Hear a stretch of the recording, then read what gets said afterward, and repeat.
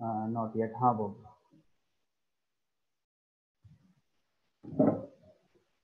Uh, Assalamualaikum everyone.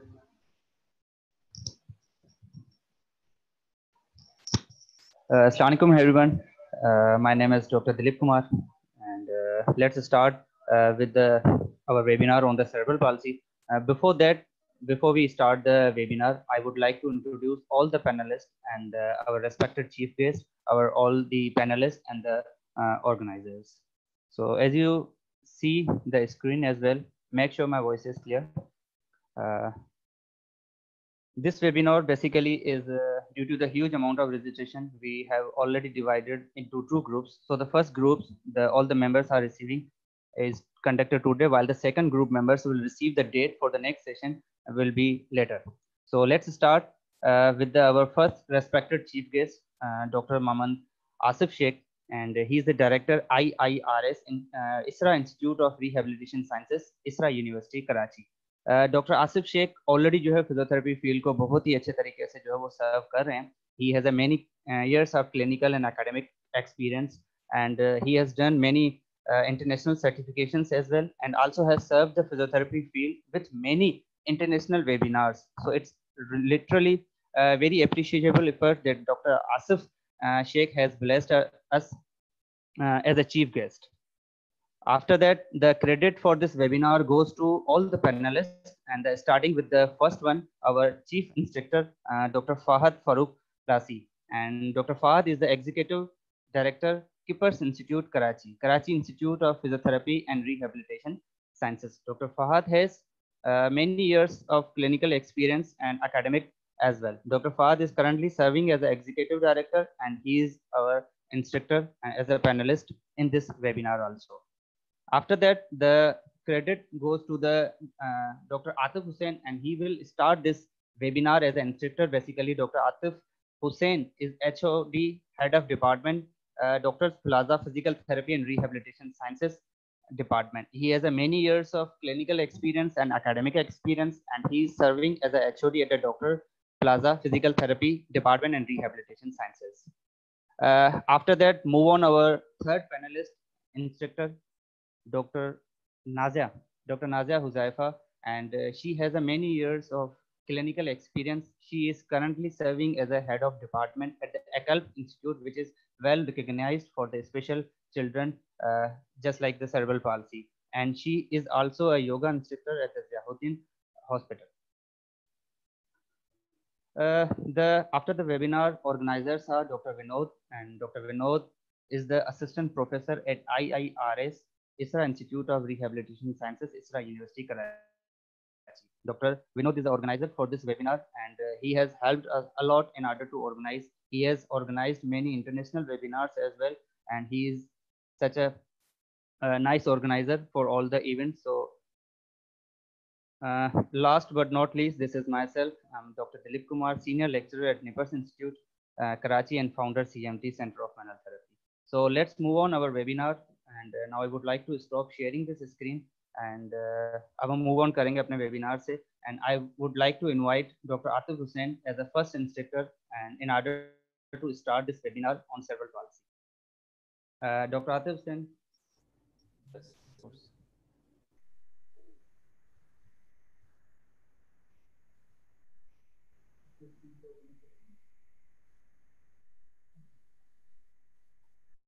Bismillahirrahmanirrahim.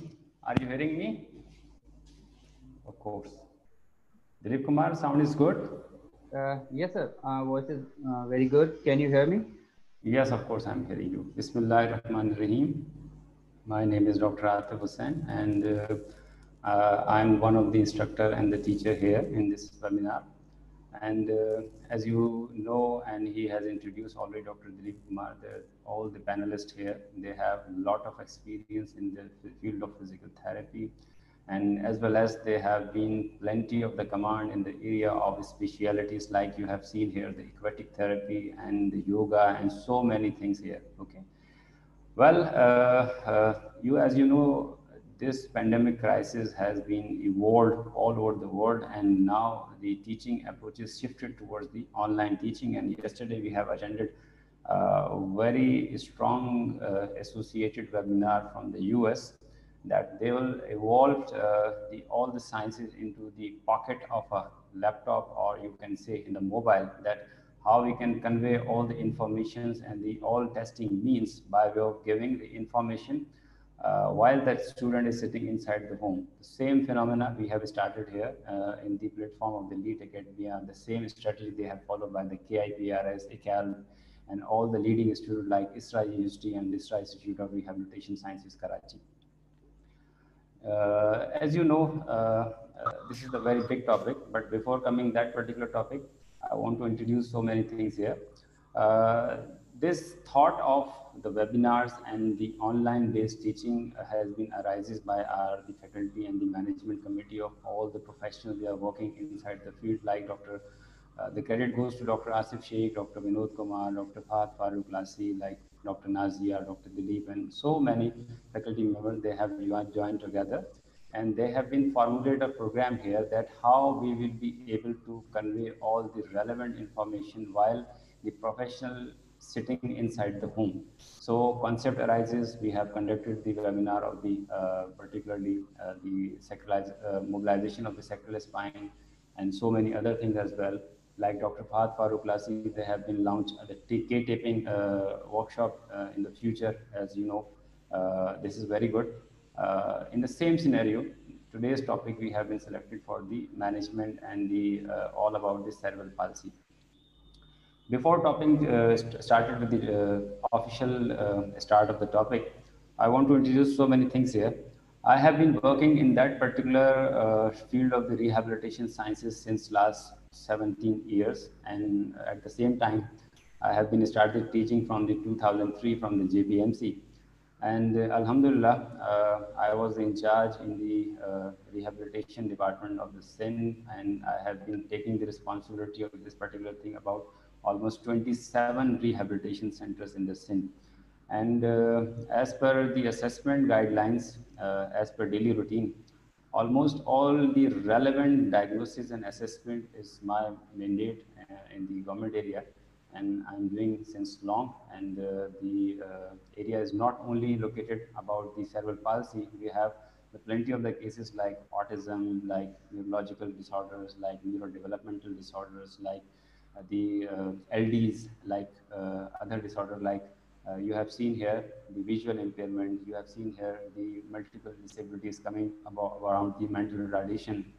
Sometimes we have the mixed disorders like person have the, usually in our ministry, uh, not only the child is coming, the teenager, the adults also are being accommodated and they have been accommodated in terms of the vocational rehabilitation. So we have the variety of cases of the cerebral palsy, almost the mental retardation, physical handicap, autism, and the neuropsychological disorders as well. But, but uh, at the need of the topic, now I'm coming towards the directly uh, uh, the topic area, which is the cerebral palsy. And now I'm going to share the screen here. Dr. Dileep, uh, everything is fine. Now I'm continue. Yes. Okay. Uh, as you know here, the cerebral palsy. Cerebral palsy is not a single diagnosis, but an, it is an umbrella term describing the non-progressive lesion involving the motor or the postural abnormalities that are noted during the early development. Okay. So, uh, as you know, uh, that that particular the problem not only evolve, not only evolve the uh, area of the brain. Sometimes it involves these psychological or intellectual areas as well. As you know, uh, जैसा कि आप देखते हैं कि society में हमारे पास बहुत सारे बच्चे uh, इस डायग्नोसिस के साथ आते हैं क्योंकि मेरा मेरा area of speciality basically physical therapy neurophysiology और साथ ही साथ speech language pathology and audiology भी है तो मेरे पास तो बेसिकली तमाम तरह की असेसमेंट्स आती हैं तो बहुत आसानी से अगर मैं आपको इस बात के बारे में समझाऊं तो आप ये बात याद रखिएगा कि जब भी बच्चा आपके पास आता है आप बहुत मोटी डायग्नोसिस के ऊपर ना जाएँ, ठीक है? ना आप सिर्फ़ ये देखिए कि बच्चे की जो डिलीवरी पैटर्न था या जो माँ के इस पैटर्न एंटीनेटल पीरियड के अंदर जो जो कुछ उसके साथ इंसिडेंट्स हुए हैं और बच्चा आफ्टर डिलीवरी जिस तरह आपके पास आके अपियर हुआ है, आपको बहुत स्ट्रॉन्ग क्लू वो प्रोवाइड कर देता है कि बच्चे के साथ क्या हुआ है और उसने क्या लॉस किया है। सेरेब्रल पालसी बेसिकली कोई प्रोग्रेसिव डिसऑर्डर इस लिहाज से नहीं है जिस तरह से हम देखते हैं कि मोटर न्यूरॉन डिज़ीज़ के अंदर कोई भी चीज़ जब प्रोग्रेस करती है तो वो आहिस्ता आहिस्ता with the passage of time बढ़ना शुरू करती है। It means whenever you have in a position to diagnose the case, in terms of that whether it is a cerebral palsy or some other motor neurological disorder because you have the first progressive diagnostic finding is that cerebral palsy is not a progressive disorder once lesion happens it is static अच्छा अब सवाल ये पैदा होता है कि अगर legion arise हो गई और वो स्टैटिक है तो वक्त के साथ साथ फिर वो बच्चे की हालत ख़राब क्यों होती जाती है ठीक है ना बच्चा जो है वो क्यों ऐसी पोजीशन में आ जाता है कि अगर उसको उसके हाल पे छोड़ दिया जाए तो उसके हाथ पाँव स्टिफ होना शुरू हो जाते हैं। उसके बाद उसके रिफ्लेक्सेस जो होते हैं वो अनकंट्रोल रहते हैं। इसके अलावा बहुत सी उसकी पोजीशंस पूरी नहीं हो पाती हैं। तो याद रखिएगा कि अल्लाह ने हमें जो कुछ सिखाया है, ठीक है ना, उसके दो तरीक़ेकार हैं। आपने देखा होगा कि हम रिफ्लेक्सेस हमारी बॉडी के अंदर डेवलप होते हैं और उन रिफ्लेक्सेस की मदद से हम आहिस्ता आहिस्ता चीज़ों को लर्न करना शुरू करते हैं। यानी हमारा पीरियड ऑफ़ इनवॉल्यूशन, वॉल्यूशन में कन्वर्ट होना शुरू हो जाता है। अल्लाह ने जो हमें इनवॉल्ट्री रिफ्लेक्स दिए थे, उनका एक टाइम पीरियड है। तो थ्री मंथ्स पे ये रिफ्लेक्स जाएगा सिक्स मंथ्स पे दूसरा रिफ्लेक्स जाएगा नाइन मंथ्स पे दूसरा रिफ्लेक्स जाएगा। आपके लैंग्वेज स्किल्स डेवलप होने शुरू होंगे, आपकी कमांड्स आपको आने शुरू हो जाएँगी। तो इसका मतलब ये है कि अल्लाह रब्बुल इज़्ज़त ने इंसान को एक सीखने का एक माहौल प्रोवाइड किया है और उस सीखने के माहौल के अंदर उसका जो कंट्रोल है बेसिकली वो इनवॉल्ट्री यानी बिल्ट एंड रिफ्लेक्सेस से आहिस्ता आहिस्ता वॉल्ट्री रिफ्लेक्सेस या वॉल्ट्री कंट्रोल मूवमेंट्स की तरफ़ चला जाता है। अगर वॉल्ट्री कंट्रोल मूवमेंट्स के अंदर कोई ट्रॉमा कोई इंसल्ट कोई लीजन कोई ऐसा प्रोसेस स्टार्ट हो गया है जिसकी वजह से वो हर्डल्स में जा रहा है या वो प्रॉब्लम में जा रहा है तो इसका मतलब अब आपकी डायग्नोस्टिक फाइंडिंग्स उसको रिवील करेंगी कि वो किस डिसऑर्डर के साथ आ रहा है। सेरल पालसी को हम सादा अल्फाज में कहते हैं मिनिमल ब्रेन डैमेज इसका मतलब ये है इसने आपको डैमेज तो किया बच्चे को, लेकिन जो बच्चे को डैमेज किया, वो जिस एरिया को डैमेज किया, वो स्टैटिक एरिया है। अगर मिसाल के तौर पर उसने प्री फ्रंटल एरिया को किया उसने उसके स्पीच एरिया को किया, उसने उसके वर्टेक्स को किया, उसने उसके मेड्यूला को किया। किसी भी एरिया में अगर उसको इनसफिशेंट ऑक्सीजन सप्लाई की वजह से वो जगह लीजन में चली जाती है तो उसके फ़ंक्शन डिस्टर्ब होते हैं अब मिसाल के तौर पे, बच्चे हमारे पास ज़रूरी नहीं कि सिर्फ़ सर्वल पालसी की वजह से आएँ। बज़ दफ़ा ऐसा ट्रामा भी होता है कि उनके पास मल्टीपल किस्म के इन्फेक्शन भी हो जाते हैं। सात दिन के अंदर उस बच्चे की खास तौर पे सी सेक्शन हुआ था, या सीजेरियन बर्थ थी बर्थ एनॉक्सिया हो गया, उसको ऑक्सीजन नहीं मिल सकी ऑक्सीजन ना मिलने की वजह से उसकी जो मोटर कंट्रोल मूवमेंट थी सेंसी मोटर डिस्फंक्शन उसको हो गया। पता चला कुछ सेवन डेज़ के अंदर उसको फिजोलॉजिकल ज्वाइंटस भी हो गया। कुछ अर्से बाद पता चला कि उसको इनकेफेलाइटिस या मैनजाइटिस भी हो गया। अब पता ये चला कि जनाब, आप तो समझ रहे थे बच्चा सिर्फ़ सीपी ठीक है ना सर्वल पालसी के साथ है, लेकिन सर्वल पालसी के अंदर कंट्रीब्यूटिंग फैक्टर बहुत सारे आगे आ जाके आगे, ठीक है ना?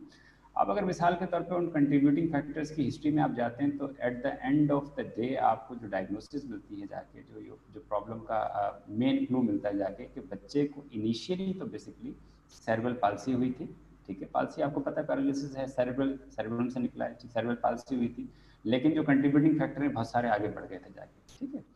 अच्छा अब सिलसिला ऐसा हुआ कि वो बच्चा जो है आपके पास क्लिनिक में आता है, वो बच्चा आपके पास इंस्टीट्यूट में आता है, वो बच्चा आपके पास किसी स्पेशल स्कूल में आता है। इसके साथ ही मैं आपको बताते चलूँ कि सबसे ज़्यादा ये कोई मैं फेवर नहीं दे रहा फिजियोथेरेपिस्ट को, लेकिन जो इसमें सबसे बड़ा जो रोल आता है वो जाके एक क्लिनिकल साइकोलॉजिस्ट जो कि बेसिकली उसकी अगर उसको मेंटल रिटार्डेशन है तो उसकी असेसमेंट करता है, यानी आई क्यू असेसमेंट करता है, उसको तलाश करने की कोशिश करता है। कि बच्चा जो है वो बच्चा जो है। किस प्रॉब्लम के साथ है ठीक है ना? आ, मिसाल के तौर पर उसके कौन कौन से फ़ंक्शन चेक होते हैं?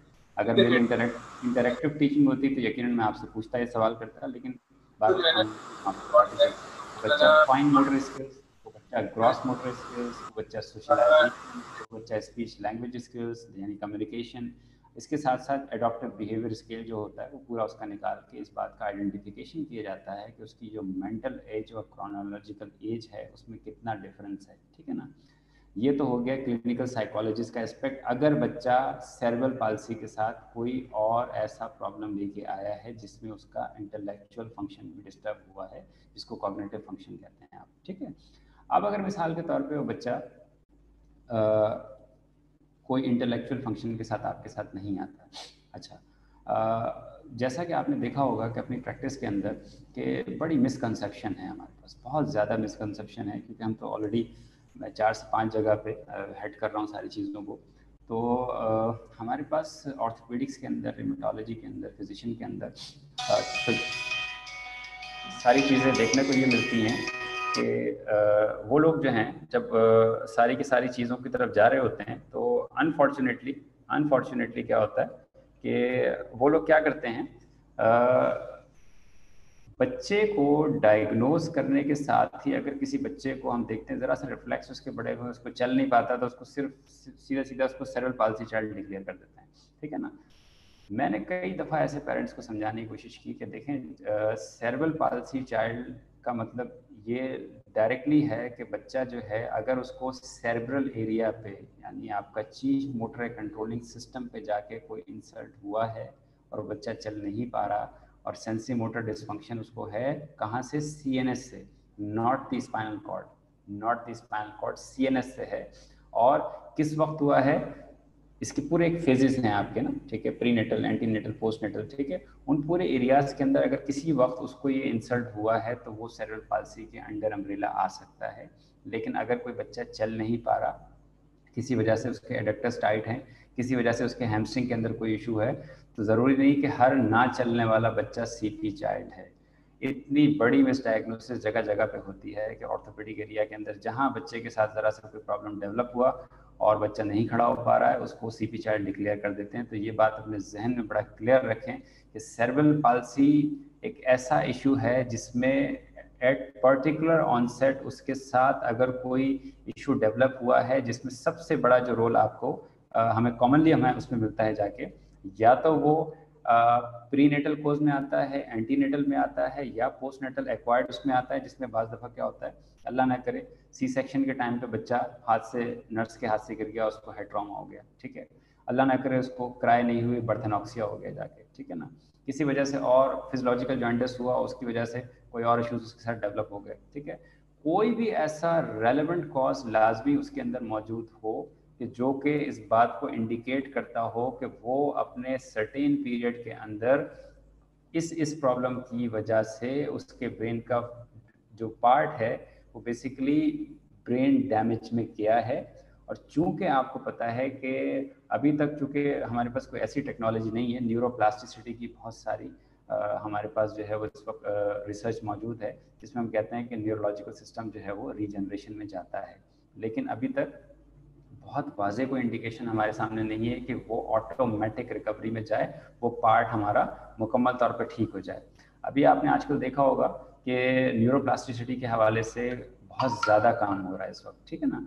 और कहाँ काम हो रहा है आपको? आपने देखा होगा स्टेम सेल थेरेपी के अंदर काम हो रहा है और वो लोग इस बात पर दावा भी करते हैं और बहुत सारे केसेस को एंटरटेन भी करते हैं, जिसमें वो कहते हैं कि पार्किंसंस के अंदर स्ट्रोक के अंदर सेरेब्रल पालसी के अंदर, वो बेसिकली ब्रेन रीजनरेशन ठीक है?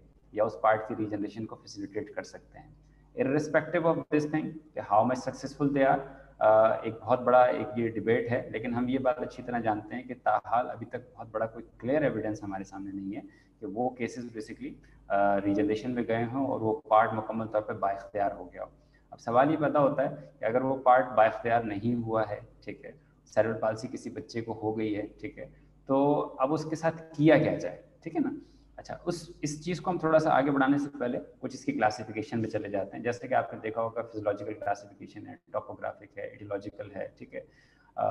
इसके अलावा अगर आप इसकी फिजोलॉजिकल क्लासिफिकेशन पे जाएँ तो फिर आप देखते हैं, बहुत कॉमन सी बात है। मैं बिल्कुल बेसिक बातों में नहीं जाऊँगा क्योंकि ये ऑलरेडी आप लोग अपने सिलेबस में पढ़ चुके हैं और हमारे पास दो इस वक्त रिसोर्स पर्सन और हैं, उनका भी टाइम फिर किल हो जाएगा।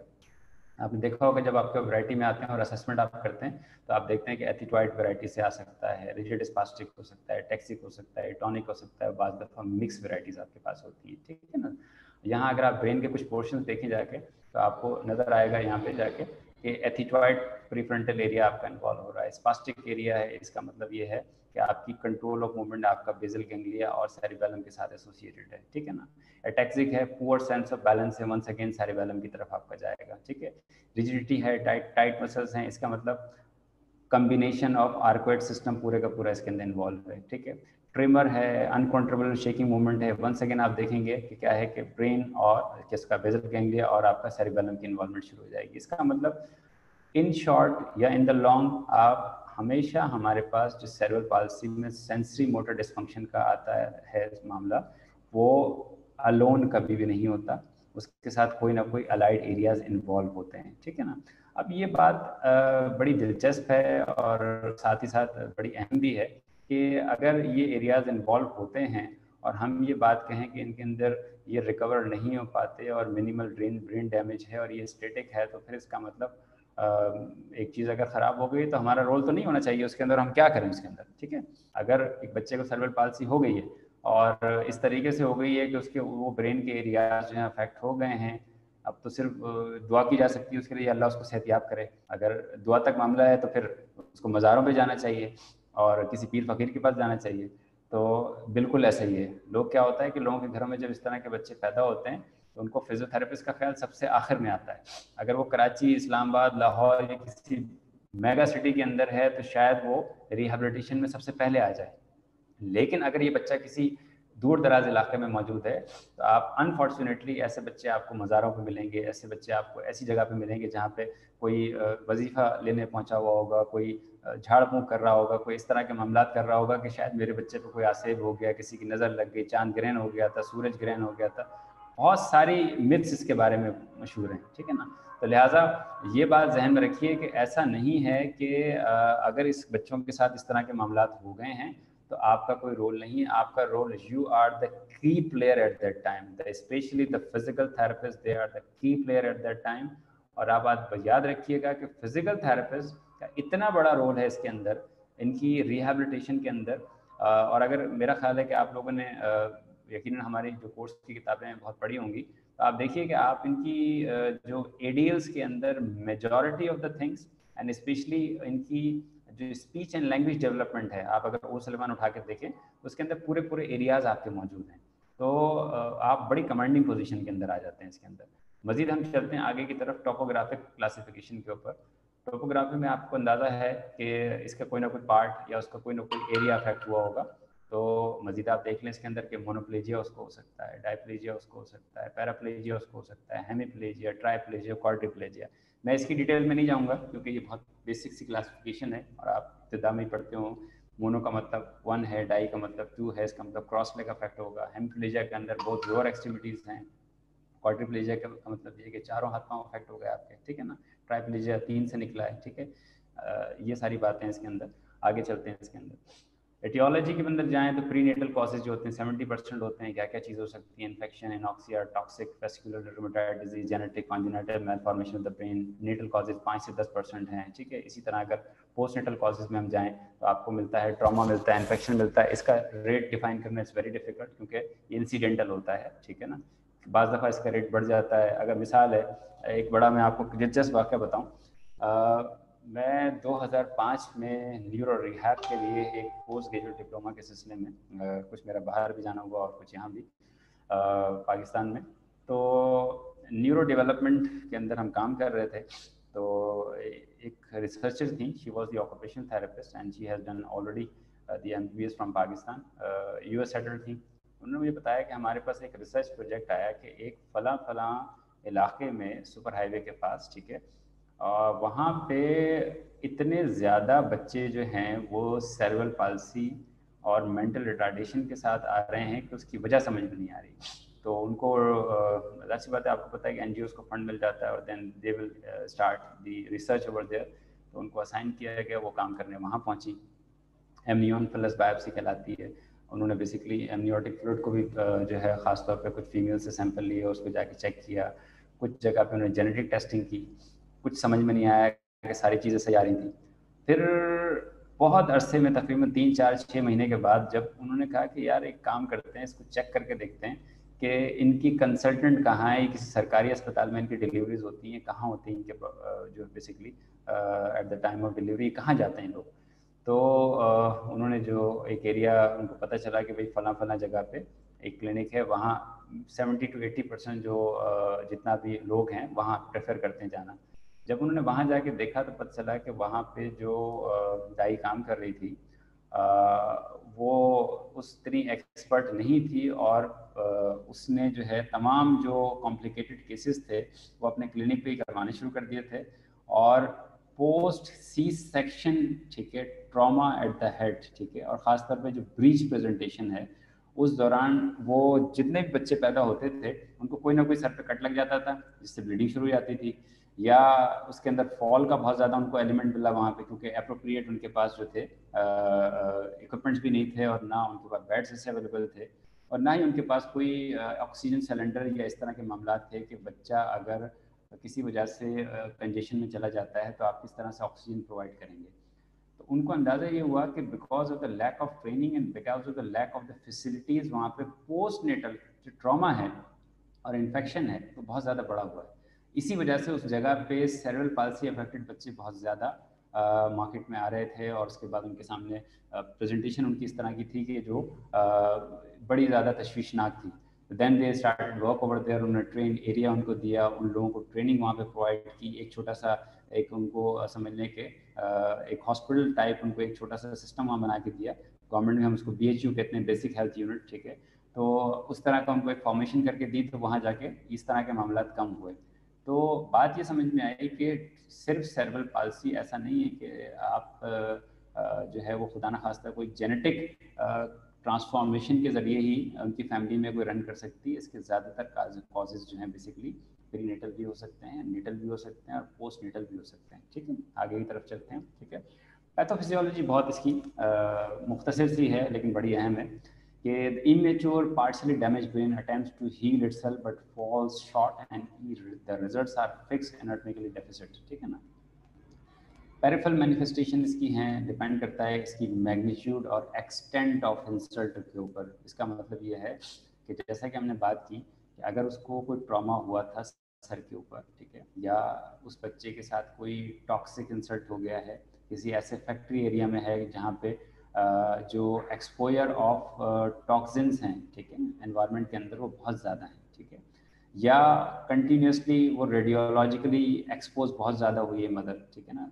एक्स वाई जेड रीज़न से कोई और सकता उसको बीमारी हो गई हो क्या उसने मेडिकेशन ऐसी ली थी? क्या मदर को कोई जर्मन मीजल्स हो गई थी रुबैला वायरस अफेक्ट कर देता है? ठीक है ना? तो कोई भी ऐसी रीज़न उसके साथ हो सकती है जिसमें क्या होता है कि वो आ, उसके उन एरिया को अफेक्ट हो जाए जाके। अच्छा फर्दर ये बताया गया है कि अगर ट्रैक्ट डैमेज हो जाए पैरामीटर ट्रैक डैमेज हो तो आपकी जो सीपी टाइप होगी वो स्पास्टिक होगी एथिजॉइड होगी तो इसका मतलब एक्स्ट्रा पैरामीटर सिस्टम इफ़ेक्ट है आपका। एटेक्सिया या हाइपोटोनिक सीपी होगी तो इसका मतलब सेरिबेलर डैमेज है आपके पास ठीक है ना?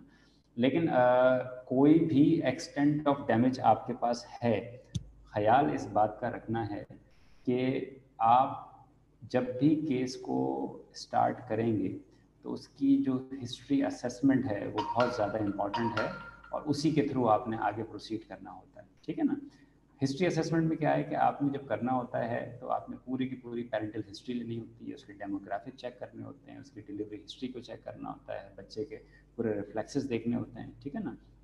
इसी तरह पूरे के पूरे हमारे पास एस बनी हुई है इसी प्रॉब्लम के हवाले से, जिसमें हम पूरी उसकी नर्व रिफ्लेक्शन टोन ठीक है, और एवरीथिंग हम पूरे डिटेल से जाकर उसकी असेस करते हैं, तकरीबन तीन से चार पेजेस के ऊपर पूरा एक फॉर्म होता है, और it requires at least one and a half hour assessment protocol पुराना ठीक है? फर्दर आप देखें एटियोलॉजी के अंदर इन्फेक्शन दिखाए गए हैं, इसके अंदर आपको नज़र आ रहे होंगे, ठीक है? आप देखें R H negative R H positive erythroblastosis fetalis आपने देखा होगा फिजियोलॉजी में पढ़ा होगा, ठीक है ना? जिसकी वजह से अक्सर ये प्रॉब्लम हमारे सामने आ जाती है, ठीक है ना? और डायबिटीज़ या टॉक्जीमिया प्रेगनेंसी के दौरान हो गया, खुदा ना खास्ता, ठीक है? तो इसी वजह से प्लेसेंटा के थ्रू चाइल्ड में भी चीज़ शिफ्ट हो जाती है और टॉक्सिक्स की वजह से, ठीक है? तो बच्चे को प्रॉब्लम हो सकती है। इनहेरिटेंस इन्वॉल्व है, लेकिन बहुत ज़्यादा इसका रोल नहीं है। यकीन इन्वॉल्व है, कुछ फैमिली में रन कर रहा होता है, ठीक है ना? आगे चलते हैं आगे।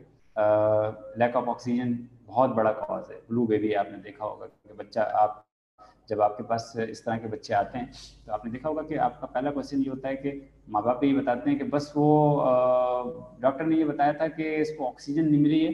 और इसके दिमाग को ऑक्सीजन नहीं मिली और इसकी वजह से ये ऐसा है और उसने ये कहा था, ये बड़ा होगा तो ठीक हो जाएगा। कितना बड़ा मिसकॉन्सेप्शन है। आप लोग अंदाज़ा कर सकते हैं कि ये बच्चा बड़ा होगा और ठीक हो जाएगा। बहुत से लोग घर में इसलिए इस बच्चे को बिठा लेते हैं रिहेबिलिटेशन की तरफ़ नहीं लेके जाते। तो बच्चा तो खुद बहुत ठीक होगा। मेरा जो पहला बच्चा था, वो तीन साल में बोलने लगा था, बहुत अच्छा हो गया था। चौथे साल के अंदर जाके स्कूल जाने लगा था और अगर वो चलता नहीं था तो उसने चलना शुरू कर दिया था। लेकिन आप ये देखिए कि ऐसा बहुत कम देखने को मिलता है कि जो लोग हैं बेसिकली वो आ, हमारी इस बात को बहुत जल्दी समझ जाएँ ठीक है ना? हमारी इस बात को समझने में उन्हें बड़ा वक्त लगता है बाज़ दफ़ा दो साल लग जाते हैं बाज़ दफ़ा तीन साल लग जाते हैं और जब तक बच्चा आता है अगर वो स्पास्टिक होता है तो ऐसी पोजीशन में जा चुका होता है कि कॉन्ट्रेक्चर बन चुके होते हैं और इसी तरह अगर फ्लैशेड होता है तो टोटल टोटली फ्लैशेड हो चुका होता है वो ठीक है ना? इसी तरह बहुत से ऐसे, अगर अल्लाह ना करे एथिट्रॉइड हो या एटेक्सिया उसके अंदर डेवलप हो, ठीक है तो आपको पता है कि पेरेंट्स को तो पता होता नहीं है कि ये कर क्या रहा है बच्चा, उसको रस्सियों से बांधना शुरू कर देते हैं। बहुत सी ऐसी जगहों पर मज़ारों पर छोड़ के आ जाते हैं। तो बहुत सारे इसके अंदर जो है मामला ऐसे हो जाते हैं कि अगर कोई अल्लाह का एक बंदा आपके पास डिपार्टमेंट में ले भी आता है तो आपको बहुत मुश्किल से फिर उस पर काम करना पड़ता है जाके। आप देखें, ये बर्थ इंजरीज आपको नज़र आ रही होंगी, बच्चे के सर के ऊपर एक कट लगा हुआ है, ठीक है, और आपको अच्छी तरह पता है कि हमारा पूरा स्कैल्प एरिया बच्चों का उस वक्त मुकम्मल तौर पर फ्यूजन में नहीं जाता है ना, ठीक है? सूचर्स इस वक्त क्लोज नहीं होते हैं। अगर सूचर्स क्लोज नहीं है तो ट्रॉमा कितने खास लेवल का, यानी ब्रेन डायरेक्ट एक्सपोज हो सकता है ना? ब्रेन तो ज़मीन के साथ डायरेक्ट एक्सपोज हो जाएगा, या उस शार्प ऑब्जेक्ट के साथ एक्सपोज हो जाएगा। तो इस तरह के जो कॉजेज हैं, वो बड़े कॉमन है आपकी सोसाइटी के अंदर, ठीक है? आगे चलते हैं। आप देख रहे हैं कि premature birth one of the major cause ठीक है? आगे चलते हैं हाई ग्रेड फीवर कितना ज़्यादा मेन इसका एलिमेंट है इसके अंदर, ठीक है? मैनजाइटिस इनकेफेलाइटिस आप कॉमनली एन में जिन लोगों का जाना हो, आप देखें कि छोटे बच्चे जो हैं वो हाई ग्रेड फीवर की प्रेजेंटेशन के साथ मुस्तकिल तौर पे वहाँ पे आ रहे होते हैं, फिर उनका हॉस्पिटल में स्टे होता है। लाजमी बात है कि अगर आप सीएसएफ के थ्रू उनको असेस कर लिया गया है कि इन्फेक्शन मौजूद है, फिर हाई ग्रेड एंटीबायोटिक्स चलानी पड़ती हैं, एंटीबायोटिक्स के बाद उसके इम्पैक्ट्स आते हैं। बाज़ दफ़ा बच्चे को इंक्यूबेटर में टाइम गुजारना पड़ता है, बाज़ दफ़ा बहुत लंबा स्टे उनका आईसीयू के अंदर हो जाता है और इस दौरान कोई ना कोई ऐसा इंसर्ट ज़रूर हो जाता है जिसकी वजह से ब्रेन का कोई ना कोई पार्ट उसका डैमेज हो जाता है और फिर उसकी जो डायग्नोसिस है वो सेरेब्रल पालसी के तौर पे आती है हेड इंजरीज की प्रेजेंटेशन ये देखें आप, ज़ाहिर बच्चा तो बड़ा है, ठीक है कोई ऐसी चीज़ नज़र भी नहीं आ रही, लेकिन पेरेंट्स को चूँकि इस बात की बहुत ज़्यादा अवेयरनेस नहीं होती कि वो बच्चों से दूर रखें चीज़ों को। जैसे कि हम आज, आजकल देखा आपने कि इश्तहारात में बड़ा कॉमन बताया जाता है कि आप अपने बच्चों को जो है ऐसी जगह पे ले जाएँ या ऐसे एनवायरनमेंट में रखें कि जिसमें उनको सिखा भी सकें कि कौन सी चीज़ उनके लिए ख़तरनाक है। और ये भी पेरेंट्स की ज़िम्मेदारी है कि छोटे बच्चों को जो करंट वाली चीज़ें होती हैं, बाज़ दफ़ा घर के अंदर बहुत से ऐसे एरियाज़ होते हैं जहाँ उनको चोट लग सकती है। बहुत सी ऐसी चीज़ें पड़ी होती हैं, जैसे वॉशरूम में फिनाइल मौजूद है मॉस्किटो के हवाले से कोई आपने कोई ऐसी दवाई वहाँ रखी हुई है कि आप समझते हैं कि उसको अगर आप ऑपरेट करेंगे तो उससे बेसिकली आप मॉस्किटो से तो बच जाएँगे, लेकिन बच्चों की पहुँच में आ जाती है, उनको बड़ी खूबसूरत खूबसूरत बॉटल्स लगती हैं, उसको खोल के देखना शुरू हो जाते हैं। बाज़ दफ़ा उनको जो टैबलेट्स हैं, उनका कलर बड़ा इंस्पायर करता है तो वो कहते हैं कि शायद ये it's resemble with the toffee उसको खा लेते हैं, ठीक है? तो पॉइजनिंग बहुत ख़तरनाक होती है और इस तरह के जब केसेस आते हैं तो बड़ा मुश्किल हो जाता है उनको रिहेबिलिटेशन में हैंडल करना। अगर वो एमरजेंसी में बच भी जाते हैं तो कोई ना कोई उनको जो ट्रॉमा जो ब्रेन को पहुँच चुका होता है, वो बहुत ज़्यादा ख़तरनाक होता है और उसके बाद जो रिहेबिलिटेशन फ़ेज़ है उसकी वो बड़ी प्रोलॉन्ग हो जाती है ठीक है ना? ब्लीडिंग क्लॉट्स बनते हैं जाके ब्रेन के अंदर, किसी भी इंजरी के नतीजे में, ठीक है? देखें, लेकिन अच्छा इसमें हमने अपनी बात नहीं की थी। ये भी एक बहुत बड़ा इंपॉर्टेंट फैक्टर है, लेकिन बड़ा रेयर है। कि ब्रेन ट्यूमर्स ठीक है ना? अब ब्रेन ट्यूमर्स बड़ा अनफॉर्चुनेट होता है किसी बच्चे के साथ इस तरह का मामला हो या एज के किसी हिस्से में भी हो सकता है, ठीक है?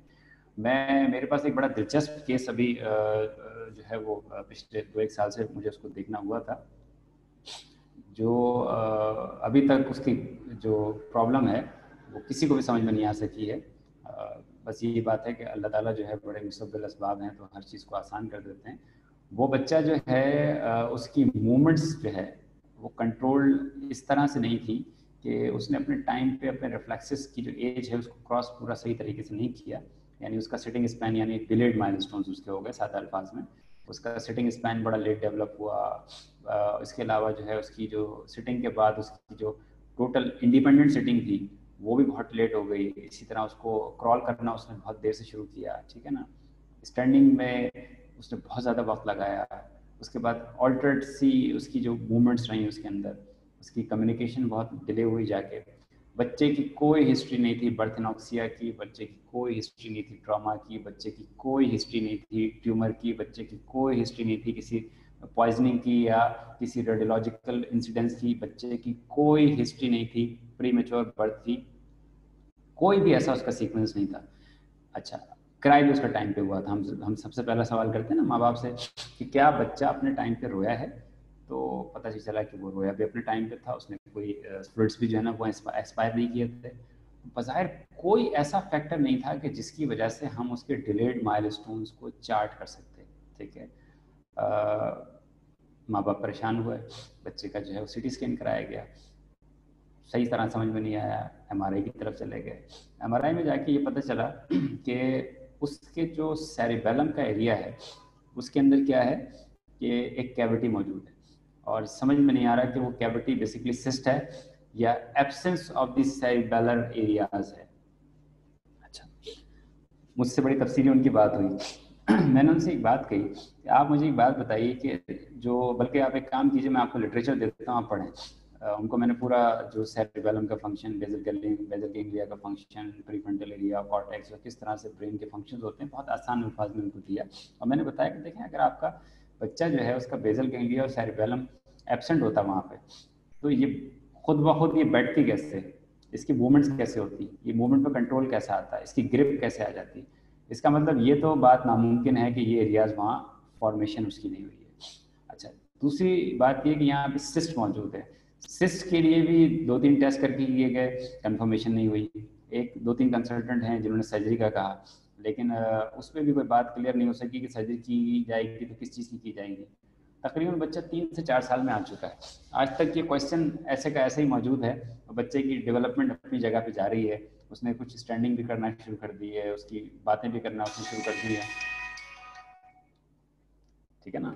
तो ये सारी की सारी चीज़ें उसकी चल रही हैं लेकिन आप बड़े मज़े की बात आप ये देखें कि इस बच्चे की इस पूरी सिचुएशन के अंदर आ, ये बात सामने आती है कि उस बच्चे को आज तक ठीक है ना किस कोई प्रॉपर डायग्नोस नहीं कर सका लेकिन अल्लाह रब्बुल इज़्ज़त की कुदरत से ठीक है उस बच्चे ने स्पीच भी एक्वायर की उसने सिटिंग भी एक्वायर की उसने स्टैंडिंग भी एक्वायर की और not yet being able to diagnose as cerebral palsy child ये मैं क्वेश्चन आपके लिए छोड़ता हूँ इस बच्चे को क्या है, इसका मतलब ठीक है? तो मैं आपको बताने चाह रहा था इसके अंदर कि बहुत से ऐसे फैक्टर्स भी आ जाते हैं इसके अंदर कि जो बाज दफ़ा आपके लिए क्वेश्चन बन जाते हैं। लो बर्थ रेट की वजह हो सकती है मल्टीपल बर्थ की वजह हो सकती है नर्वस सिस्टम की मेलफॉर्मेशन हो सकती है मैटरनल ब्लीडिंग हो सकती है सीजर्स हो सकते हैं। बहुत सारी इसकी कॉम्प्लिकेशन है। अगर मैं इसकी प्रेजेंटेशन को पूरा करने बैठूँ तो मुझे होस्ट की तरफ़ से मैसेज आ गया है कि, सर, वक्त आपके पास कम रह गया तो मैं इस चीज़ को थोड़ा कंक्लूड करने की तरफ़ जाता हूँ कि अगर हम इस तरह की प्रेजेंटेशन पे जाएँ तो एक दुनिया भरी हुई है। यानी अगर मैं अगर बोलना शुरू करूँ तो पाँच छः घंटे तो शायद आपको पता भी नहीं चले कहाँ जाएँगे। वेल well, uh, अब सवाल ये पता होता है कि ये बच्चा आपके पास आ जाता है क्लिनिक में और इस तरह के केसेस आपके पास आ जाते हैं। तो आप कहाँ से स्टार्ट करेंगे? स्टार्ट करेंगे आप अपनी हिस्ट्री असेसमेंट से उसकी पूरी रिफ्लेक्स टेस्टिंग से लेके उसकी क्या है कि पूरी न्यूरोलॉजिकल टेस्टिंग करेंगे जिसमें तमाम पैरामीटर्स को एज इट इज़ फॉलो करेंगे और इससे बाद जो मेरी दो प्रेजेंटेशन हमारे दो पुलिस की प्रेजेंटेशन है उसमें तफसील से बताएँगे सारी चीज़ें ये। उनको पूरा आप असेसमेंट के थ्रू लेके जाएँगे अच्छा अब अगर मिसाल के तौर पे वो आप सब चीज़ें कर लेते हैं तो अब आती है बात मैनेजमेंट की। मैनेजमेंट के लिए करना क्या होता है ठीक है ना? आ, इसके लिए मैंने पूरी एक किताब लिखी इसके ऊपर ना ठीक है? और मैं आपको दिखाते चलूँ कि गवर्नमेंट में हमने शेयर भी की जाके। और अगर आपके सामने शायद स्क्रीन आ रहा होगा आप ये देखें ये चल रहा है पूरा ना। जिसमें क्या है कि रेफरल सिस्टम किस तरह से बनना चाहिए किस तरह से टीचिंग की तरफ़ लेके जाना चाहिए स्पेशल नीड्स होती क्या हैं किन को स्पेशल नीड्स की ज़रूरत होती है ठीक है कौन लोग इनको पढ़ाएँगे इसके कोड ऑफ़ एथिक्स क्या हैं पूरे के पूरे। आप आपके सामने ये चीज़ें नज़र आ रही होंगी आपको आ, सारी की सारी जिसमें क्या है कि आप ये देखें गौर से ठीक है मुकम्मल तौर पे कि पूरे का पूरा सिस्टम चल रहा है इस हवाले से ठीक है किस तरह इसको रेफर करना है क्या चीज़ें रेफर करनी है किस तरह से बच्चे का रिकॉर्ड रखेंगे रखेंगे अपने पास, ठीक है? रीज़न और रेफरल को डायग्नोज करेंगे आप, ठीक है ना? किसी तरह से उसके प्रॉब्लम्स क्या हैं, उनको आइडेंटिफाई करेंगे, ठीक है? पूरा एक डिटेल पूरा सिस्टम है जिसमें उसकी पूरी की पूरे स्किल्स जो है ना हमारे सामने आ जाते हैं इसके ठीक है ना? अच्छा अब हम चलते हैं इसके और एरियाज़ की तरफ़ आपको दिखाते जाते हैं कि इसके अंदर क्या क्या कुछ मौजूद है, ठीक है? आगे। ये देखें आप। हम लिसनिंग से लेके ओरल से लेके कम्युनिकेशन से लेके सब कुछ इसका पूरे का पूरा चेक करते हैं ठीक है? इवन के बिहेवियर अर्ली चाइल्डहुड डेवलपमेंट उसकी हेल्थ उसके अर, आपके जो ना वो जितने भी आपके इंटेलेक्चुअल फ़ंक्शंस हैं सारे के सारे लेके आगे की तरफ़ लेके जाते हैं उसको ठीक है? ये देखें अभी पूरी इसके असेसमेंट और फिर आपके पूरे कमेंट्स होते हैं ठीक है ना? किसी स्कूल में है तो उसकी क्या वजूहत हैं उसके आईपी गोल्स क्या हैं वगैरह वगैरह ठीक है ना? तो ये पूरा सिस्टम लेके चलते हैं हम उसमें, ठीक है? उसी तरह फिर आप देखें कि इन बच्चों के हवाले से यकीन ये बच्चे हमारे पास जब आते हैं तो फिजियोथेरेपिस्ट या तो किसी स्पेशल एजुकेशन में काम करता है या अपने वो किसी रिहेबिलिटेशन सेंटर में काम करता है तो सबसे पहले हम इस पर जाते हैं कि उसकी नीड्स क्या हैं नीड्स को कैसे आइडेंटिफाई करना है, ठीक है? किस तरह आइडेंटिफाई करना है? या आप देखें ग्रुप ऑफ़ टीचर्स हमारे जो प्रोफेशनल्स हैं, उन बच्चों को जाके असेस कर रहे हैं क्लासरूम एनवायरनमेंट के अंदर, ठीक है ना? इसी तरह का आप देख रहे हैं कि तीन तरह की हेडिंग्स दी गई हैं। कि इंटरवेंशन के हवाले से कि प्रिवेंटिव है रिमीडियल है कंपनसेटरी है। हम इन तीन एरियाज़ में काम करते हैं जाके, ठीक है ना? आप देख रहे हैं कि रिमीडियल हवाले से इसको देखा जा रहा है, इस बच्चे को, ठीक है? पूरा हमने, एक पूरा मैनुअल बनाया हुआ है इसका, ठीक है? किन को ज़रूरत होती है, ऐसे बच्चों के नीड्स के हवाले से, ठीक है? जैसे मैंने आपको बताया था कि इसमें मल्टीपल वेराइटीज़ हो सकती हैं। ऑटिज्म भी आ सकता है ब्लाइंडनेस हो सकती है इमोशनल डिस्टर्बेंस हो सकती है हेयरिंग इंपेयरमेंट हो सकती है मेंटल रिटार्डेशन ऑर्थोपेडिक इंपेयरमेंट ठीक है ना? स्पेसिफिक लर्निंग डिसेबिलिटी बहुत कुछ इसके अंदर आपके पास आ जाता है। और बड़े हैरत अंगेज बात मैं आपको बताऊँ टॉपिक तो बाहिर ये सेरेबल पालसी है, ठीक है? लेकिन cerebral palsy with mental retardation हो सकता है। सेरेबल पालसी ऑर्थोपेडिक इंपेयरमेंट तो वैसे ही उसके साथ होती है। अदर हेल्थ एंड इंपेयरमेंट में लर्निंग डिसेबिलिटी भी उसके साथ हो सकती है। अदर इम्पेयरमेंट में उसके साथ लैंग्वेज इम्पेयरमेंट भी हो सकती है।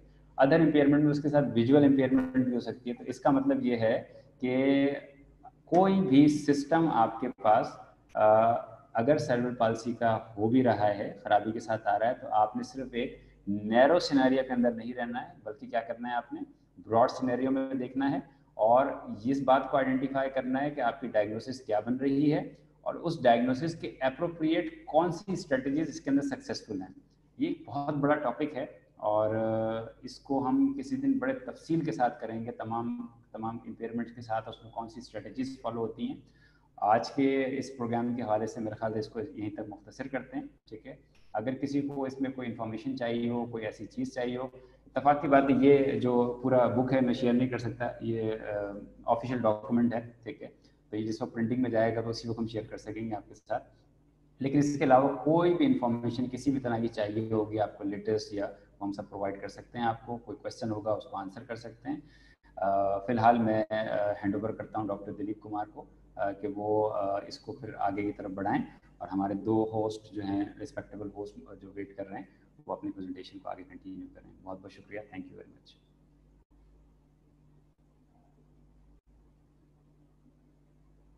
doctor Dilip Kumar, आपको मैं हैंड ओवर कर रहा हूँ। आप आगे प्रोसीड कीजिए इसको प्लीज़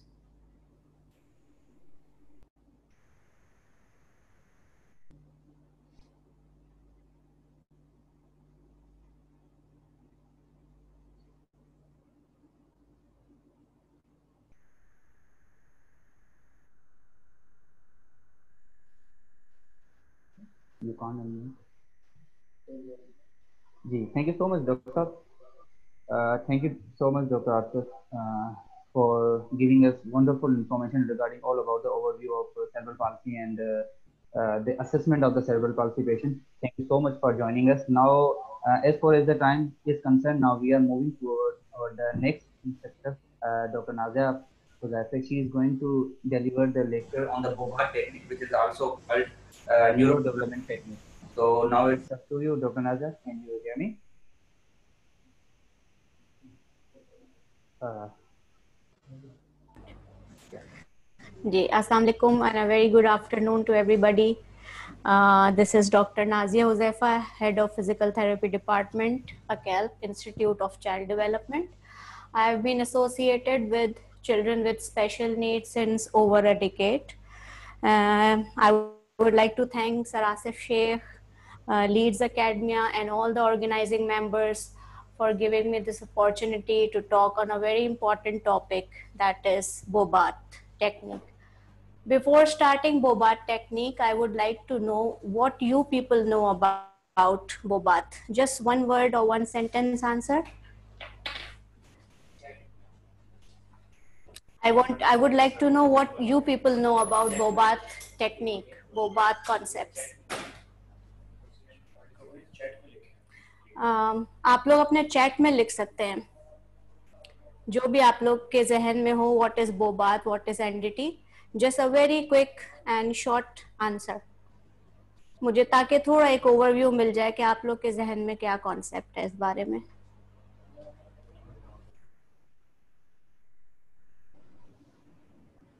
जवाब okay So Bobath, um, I would like first to give you a brief introduction about Bobath concept. It was a concept given by, hmm, first wala.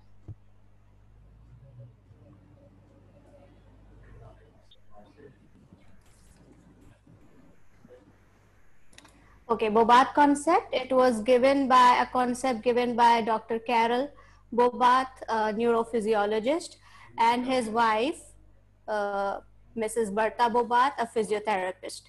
They came in 1930s to UK and worked extensively with children with cerebral palsy and stroke patients and came up and developed a concept which was known as and got famous with the name Bobath concept. Then they extended this concept to the other parts of the Europe and then they went uh, took this concept to USA where it was called NDT neurodevelopmental treatment. So this was the just brief history about the Bobath concept, how it was evolved. Now NDT as the word suggests, neurodevelopment te technique, neuro means pertaining to brain and nerves and development emphasizes the importance of understanding the normal movement patterns because these normal movement patterns leads to the development of function. And here the problem occurs with cerebral palsy that they have abnormal movement patterns that hinders their functional motor skills. Okay moving forward ndt is a therapeutic approach to the assessment and management dysfunction in people with neurological deficits so it is not just the management part, it also helps you in the assessment of the child as well. And it is not just applicable for cerebral palsy or stroke, it is applicable for all the neurological conditions, be it children, adults, or anybody. So the main target and the main uh, goal of this therapeutic approach is to get the person's functional ability. It enhances the functional ability by focusing mainly on the normal movement pattern and efficient movement pattern. Okay, the therapist has to analyze all areas of development that is motor, sensory, and cognitive. You cannot just focus on one aspect because development is in all the areas. You have to consider the child as a whole. A whole means it involves motor, sensory, emotional, cognitive, all the aspects. And that leads ultimately to the development of functional skills. Okay, moving forward. Hmm. Okay, so the next is the motor movements. A child learns through motor activity. Uh, when a child is born, he moves his arms, legs, he, he uh, rolls over, he moves to his side. And by doing this, actually he's exploring his environment. He takes his thumb in his mouth, he takes all the things in his mouth. सब बच्चों का आप लोगों ने सुना होगा ना कि हर चीज मुंह में डालते हैं so by doing this, they are actually exploring their environment and this exploration of their environment, they get the stimulation, the sensory stimulation they get and it results in the development of motor skills. Social adaptive behaviors, language and cognitive abilities. So motor movements से एक्सप्लोरेट explore करता है then it gives him the stimulation the sensory stimulation and it results in the development of motor skills social adaptive behaviour language and cognitive abilities that further enhances the motor movement cognitive ability बढ़ती है, वो मजीद उसके motor movement को बढ़ाता है and then again exploration and stimulation and here it there is a reference that goes with it which says that motor skills and cognitive development are, to, are integrated to each other. One improves the other. Okay, next. Okay, NDT is a problem solving strategy and clinical reasoning process. Now, what is the meaning of problem solving strategy and clinical reasoning? Let's suppose a parent comes up to you and he says that my child is unable to put his arms in the sleeves. So now you have the problem. The parent has come up uh, come to you with the problem. Now you are going as a clinician you are going to reason it. What could be the reason why the child is unable to put the put his arms into the sleeves? The reason could be decreased range of motion. It could be his tone it could be lack of coordination. So you have to reason it and then you try to solve that problem. Like if he has decreased range of motion your therapy should be inclined towards increasing range of motion. And by doing this you are actually solving the problem. So it is a problem solving strategy.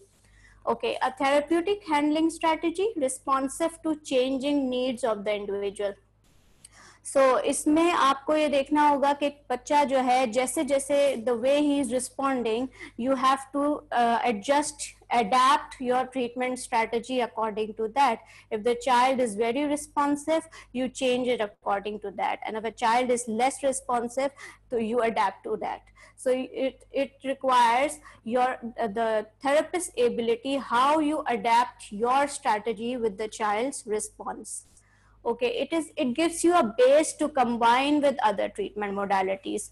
The beauty of this uh, technique is that it it gives you a room to combine with other treatment approaches. Like you can combine ndt with dry needling you can combine ndt with maitland mobilization or aquatic therapy and so and so forth.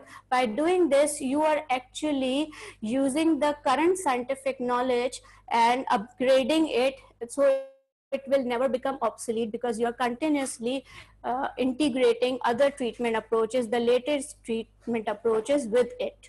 So I have also been using yoga, aerobics, mobilizations and needling and kinesiotaping and combining with NDT and getting very good results okay it is a holistic approach like i said that you have to uh, consider a child as a whole. All the aspects of development that is physical emotional cognitive because all are interlinked to each other and integrated. It is a living concept evolving with current scientific knowledge and theories as i said that if you will combine it with the latest treatment approaches it will never become obsolete. Because i would mention here that bobath is not a set of exercise. It is a concept it is the approach and it has the principles. You can combine these approach this concept this um, principles with any of the treatment available at that time. Okay. It is a multidisciplinary uh, if you are dealing with a special needs children, then you need a multidisciplinary team.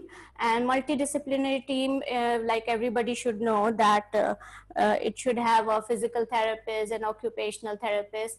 So um, i would like to know okay, uh, what do you think a multidisciplinary team mein kaun kaun log shamil hone chahiye? Are you getting the answers? No? Yes आ रहे multi disciplinary team I would like to know कि आप क्या समझते हैं कि what who should be in the multi disciplinary team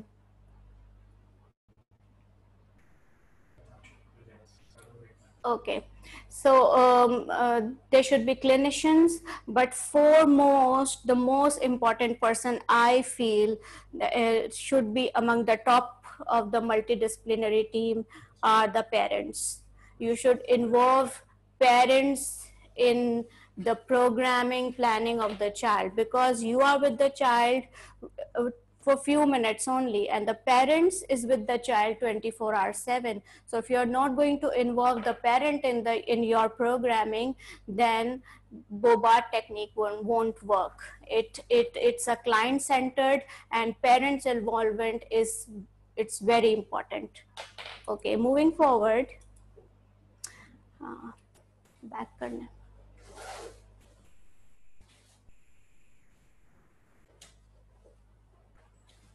आई हम्म। आगे आगे। okay Okay, these are the some common postures of children with cerebral palsy. As you can see, uh, the crossing of legs or keeping them bent of the uh, bent most of the time. ये आप लोगों ने जरूर देखा होगा. They keep their knees bent, hip flexion, knee flexion होती है. And um, there is another hips not in a line or asymmetrical position. Why asymmetrical? You can see the right side and left side of the body is asymmetry to each other one is extended one is flexed one is abducted the other is adducted. So there is a asymmetry and the third picture, it's a sacral sitting. Um, normally we sit on the coccyx while children with cerebral, uh, cerebral palsy tend to sit on the sacrum. All these things could lead to complications, secondary complications that is in the form of contractures and deformity. So according to the Bobath concepts, we need to inhibit these abnormal postures so that the secondary complications are minimized and prohibited. Okay, coming to the principles. First, uh, I already told that it is a problem solving uh, strategy. So first we need to identify the problem. The how we are going to identify the problem. We can identify the problem, a therapist can identify the problem by doing a very good detailed assessment of the child. And that assessment involves the checking of the tone the patterns the controls the balances very important it's mode of mobility. What is the child's current mode of mobility? And what is the functioning level? Gmfcs scale. So all these things the patterns the tone the reflexes mode of mobility all these things are involved in a detailed assessment of the child. By doing a detailed assessment you will be able to identify the problem okay a keen observation is required on the part of the therapist to identify the correct problem because sometimes the problem are hidden are not that apparent. So you can miss out. So you need to check and this assessment is not in just one setting you are doing the assessment. The assessment continues in the therapy sessions also. Always you will find a new thing so uh, one way of doing the uh, identifying the problem is by doing an assessment. Second, you will ask the parent. Like I said, the parent came up and said that my child is unable to put the hands in the sleeves. So, so you need to ask questions. What kind of problem you are uh, that you are facing regarding your child, so that we can uh, solve it. If you if you um, uh, identify a problem and list down and make the goals and start uh, problem solving the problem then it will be a very eff- effective um, way of treating the child. Okay next is inhibition of abnormal patterns. Like I said, Bobath says that we should uh, work more towards the normal movement patterns. So this child is doing the movements in an abnormal pattern. So you need to inhibit that because uh, the abnormal pattern would lead to the secondary complications. How we can inhibit by taking it into TIP, that is tone influencing pattern and RIP, reflex inhibiting patterns. Uh, in the later video and the picture, I will tell you how you can uh, take the child into tone influencing patterns. The second is a specific preparation for a specific function. Now, what does it mean? Uh, I think I'm not going too fast. No, it's okay. Okay. Okay, specific preparation for specific function means like in one session, I have uh, decided and made a goal that I will make the child to stand holding on parallel bar or walker by the end of the session. This the goal I have made that I will make the child to stand by the end of the session. So all the things I will do in the initial part of my session so to, make, to achieve that goal that is to make the child stand. That is the specific preparation that i'll be doing. Like if i want to make the child to stand then i will uh, do all the activities that will uh, you know um, improve the truncal balance the pelvic control in every session for specific function you need to prepare the child first okay muscle need to be at the best length for activation definitely for every work. The muscle should be at efficient level efficient length so that you can function properly. Okay i was talking about the tip tone influencing pattern. Here you can see a child um, you know, I think right you can well um, uh, judge that the right and left side of the body is in total asymmetry to each other. The right is the right arm is internal rotation, elbow extended, adducted, um, hyperpronated, and flexed okay, fingers and uh, wrist. Okay, and likewise you can see the lower limb also in a uh, flexed and abducted uh, position, while the left side of the body is in abduction, external rotation, elbow flexion. Yeah, okay and the lower limb extension. So right and left body part is in total asymmetry. So and you can i think well judge that the child would be in hypertonia would not be relaxed. So first uh, if my goal is to make the child roll so do you think that this position in this position the child would be able to roll? It would be very difficult for a child to roll in this position. For for this i first would need to relax the child so that the arms and uh, upper limb, lower limb, the trunk are completely relaxed so that the child is able to roll properly. Now how I'm going to influence the tone, there is a video that goes with it.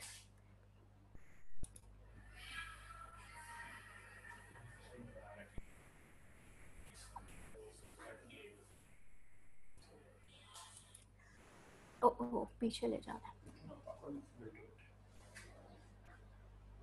मुझे pause करना था। मैं इसी से ना।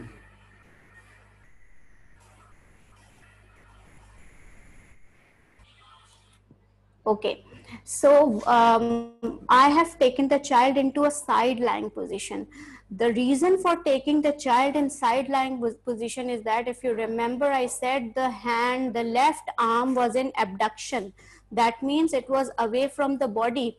And by taking the child into side lying position, actually I'm using the gravity to uh, bring the arm into midline right? Uh, the automatically the arm will come into adduction and into midline. So gravity will help me in taking the arm into uh, midline and abduction. So that's why I've taken the child into side lying position. And then I'll do all the opposite. Um, his pattern was external rotation, flexion. So I will extend the elbows and all the opposite pattern I'll use to influence the tone.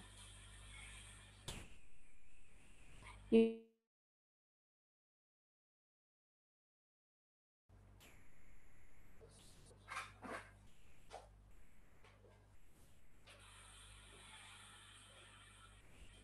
As you can see, I have extended the elbow right now and I'm bringing it forward.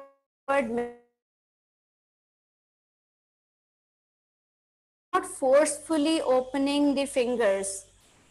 I'm doing TIP from the proximal part and then the fingers are now automatically relaxed. I worked on the proximal segment and distal is automatically, I have to pause it here.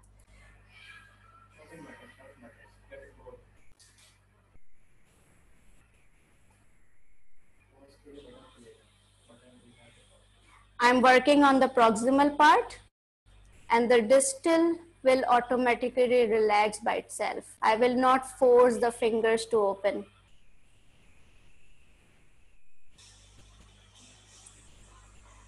the toys should be such that it interests the child. See the fingers are completely relaxed and open although I've never forcefully or done anything with the fingers. Here I'm taking completely the child into mid position and as you can see the child is smiling too that means he is completely relaxed and enjoying the therapy. Okay, next, next.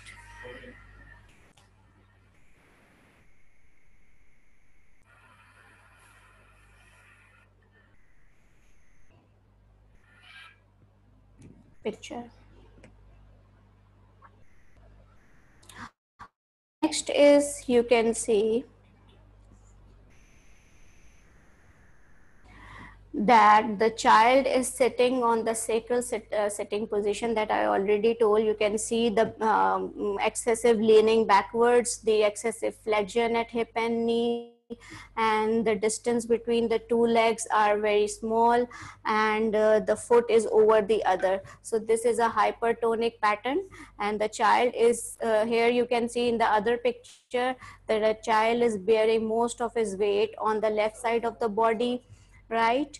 And um, uh, the distance is less. So i will again take this child in a, a, tip tone influencing pattern maybe starting with the proximal part the scapula. I will start uh, mobilizing the scapula or the pelvic region and then relaxing it from hip the knee and then the foot right? So starting from the proximal i will move toward distal and the child will be relaxed. So the next is in this picture you can see is a much better condition.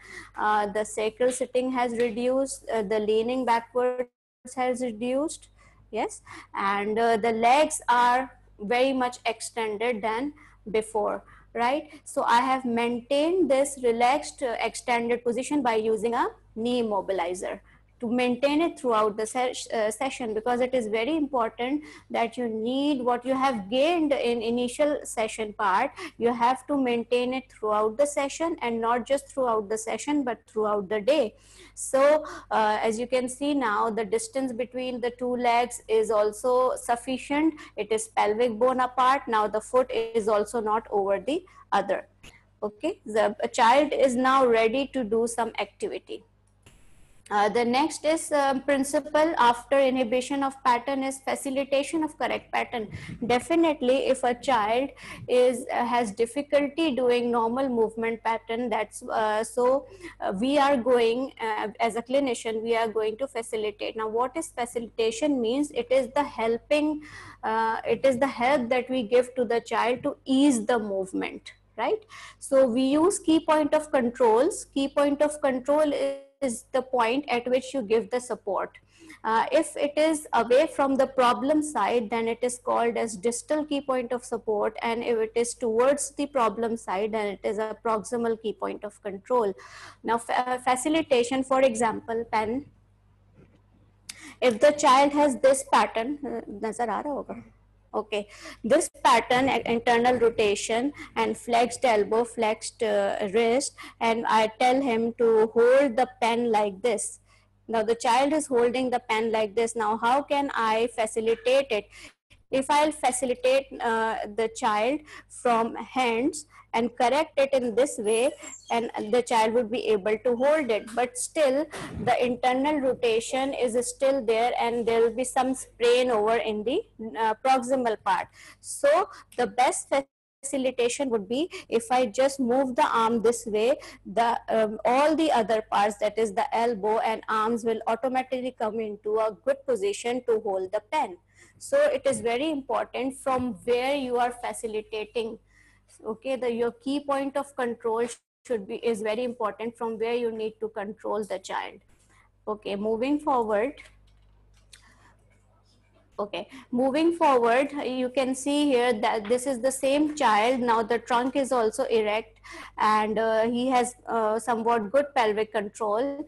And now the my key point of control is knees because he has difficulty extending the knees. The knee mobilizers are also removed but still the flexion is less than what was seen earlier in the case. Okay Elimination of sensory issues is the uh, the next principle. What does uh, elimination of sensory issues means? Um, there are different senses in our body.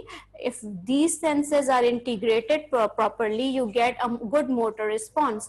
But with sensory integration dysfunction, you have uh, the child would have abnormal motor uh, responses because uh, the sensory uh, issues would lead to abnormal movements. Uh, for example, if a child is tiptoeing, so uh, as a physical therapist, what reasons comes in your mind for the tiptoeing of the child? What reasons come? Okay, the reason uh, the in the mind could be the tight gastrocnemius, and and uh, this is the common uh, reason that comes in part. So we start stretching the gastrocnemius uh, but still the child is uh, tiptoeing and not um, and not uh, you know uh, putting his heels down. So then we start brainstorming and do the clinical reasoning that uh, what other uh, reasons could be there so that the child is tiptoeing. The reason could be he has a tactile issue. He does not like the touch uh, to his heels that why he walks on his toes. So uh, we need to desensitize the heels so that um, he puts his heels down besides doing the stretching of gastrocnemius so for um, sensory issue elimination is also very important. Uh, like here in the gait training, we have put the foot marks that gives a visual stimulus to the child where to put the foot and also there are different textured foot marks. So the child is also getting the tactile stimulation along with the visual stimulation okay the repetition of patterns in the activities of daily living whatever we are facilitating whatever we are inhibiting that should be in uh, repeated in the activities of daily living. Because by only repeating um, we all have heard the word neuroplasticity. So neuroplasticity only occurs if we are going to re- uh, repeat it and practice practice it practice it. So uh, that becomes automatic to make the uh, behavior learned we need to practice it, so that it becomes automatic and by repeatedly doing it it develops into a function um, moving forward, the last is the active participation. Bobath concept is not uh, passive at all. It requires the, the subject, the participant to be actively involved in the therapy session for which the therapist should be very intelligent and vigilant that it, um, it he should design the therapy plan in such a way that uh, it takes all the active participation for the child. Uh, the therapy session should be very lively, should be full of fun and playful so that the child uh, actively participates in it and in this picture you can see that the child is involved in an activity. I my goal was to um, um, improve the truncal control the pelvic control uh, increased range of motion. And as you can see in the picture i have put a coin box at the top of the shelf and the coins are placed at different levels um, at different levels on the shelf so the child is going to come down, pick up the coin and put it in the shelf. By doing this, the child will be using the abdominals as well as the ex extensors of the trunk. Uh, so a very good combination of concentric and eccentric muscle work. That so this kind of therapy is fulfilling lot of um, objectives like it is uh, active improving the pelvic control, it is improving the truncal control, it is also improving the range of motion. The arm is uh, going up to place the coin and you can see the child is completely engrossed in the therapy plan. Also the child is standing on the way, uh, balance board. So that is also doing the uh, weight shifting uh, thing. So you, here you can see um, i wanted the child to use a bilateral hand use. So i have placed this basketball and the child is using both her arms to uh, uh, you know shoot the ball in the basketball. So the uh, tips at the end of the session, as I said, the parents are very important. Give them importance because they are with the with their child throughout the day. So be sensitive to the family's needs. Observe how the child is handled by the carers. Reinforce appropriate skills and acknowledge their efforts because caring the, these child is not easy. So it, it is very important to acknowledge their efforts. Demonstrate handling techniques that are easier and more effective where necessary. And practice, practice, practice. जैसे maths में कहते हैं ना कि जितना practice करेंगे उतना आएगा. So here also you need to practice it. So my uh, takeaway message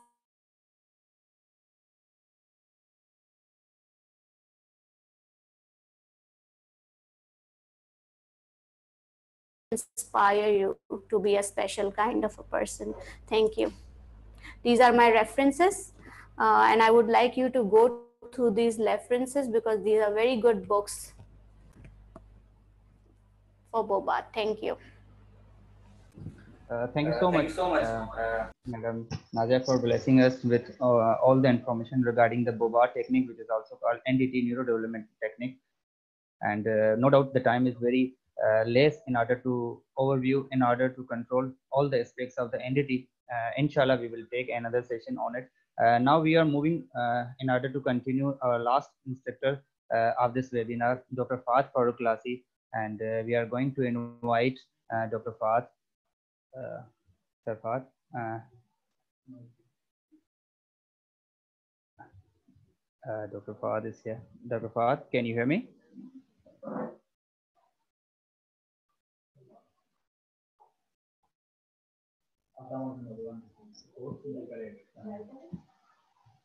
Yes, sir. It's up to you now.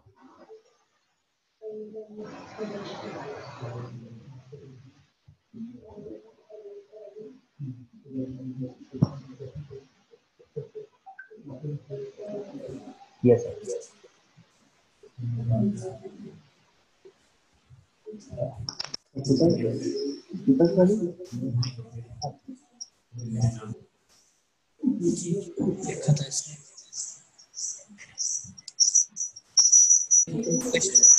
Everyone. Uh, I hope everyone can hear me properly and uh, you can see me also.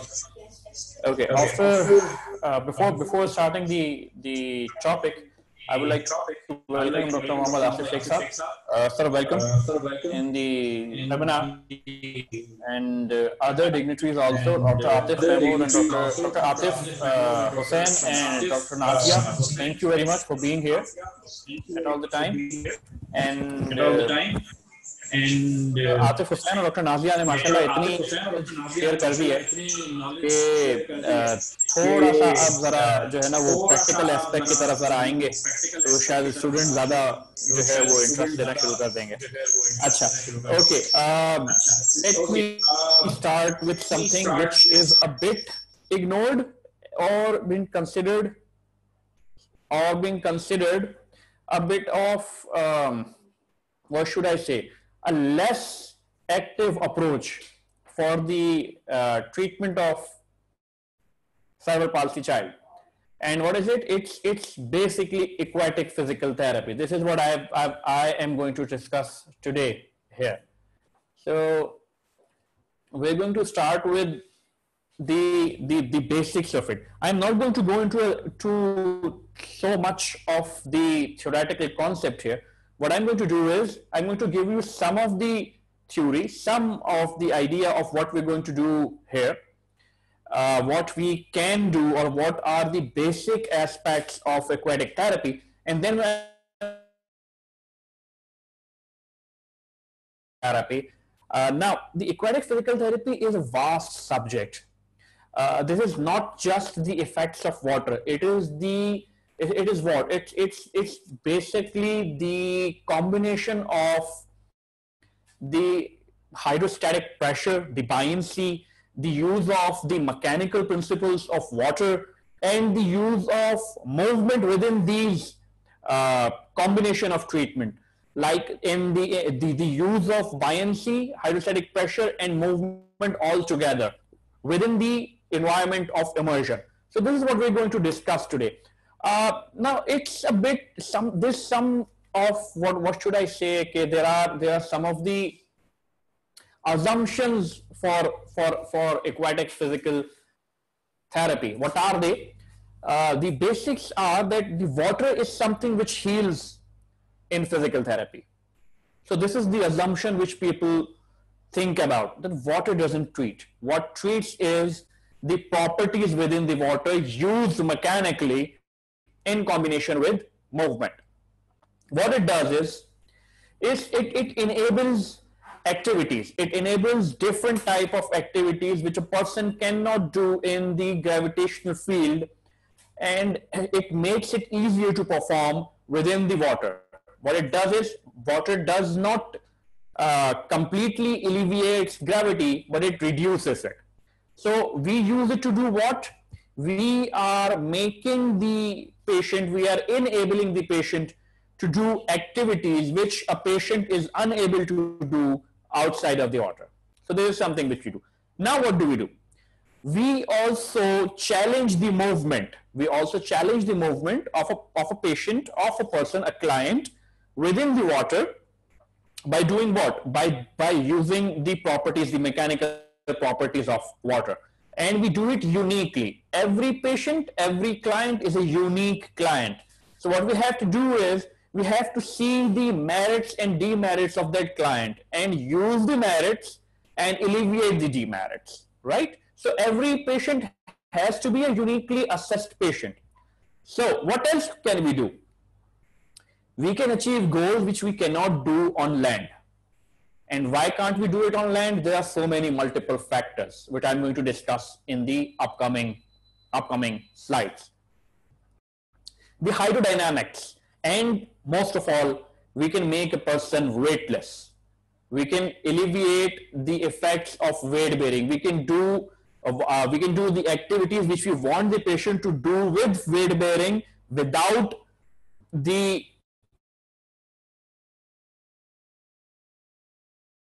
efficient for aquatic therapy. Okay, what else do we do?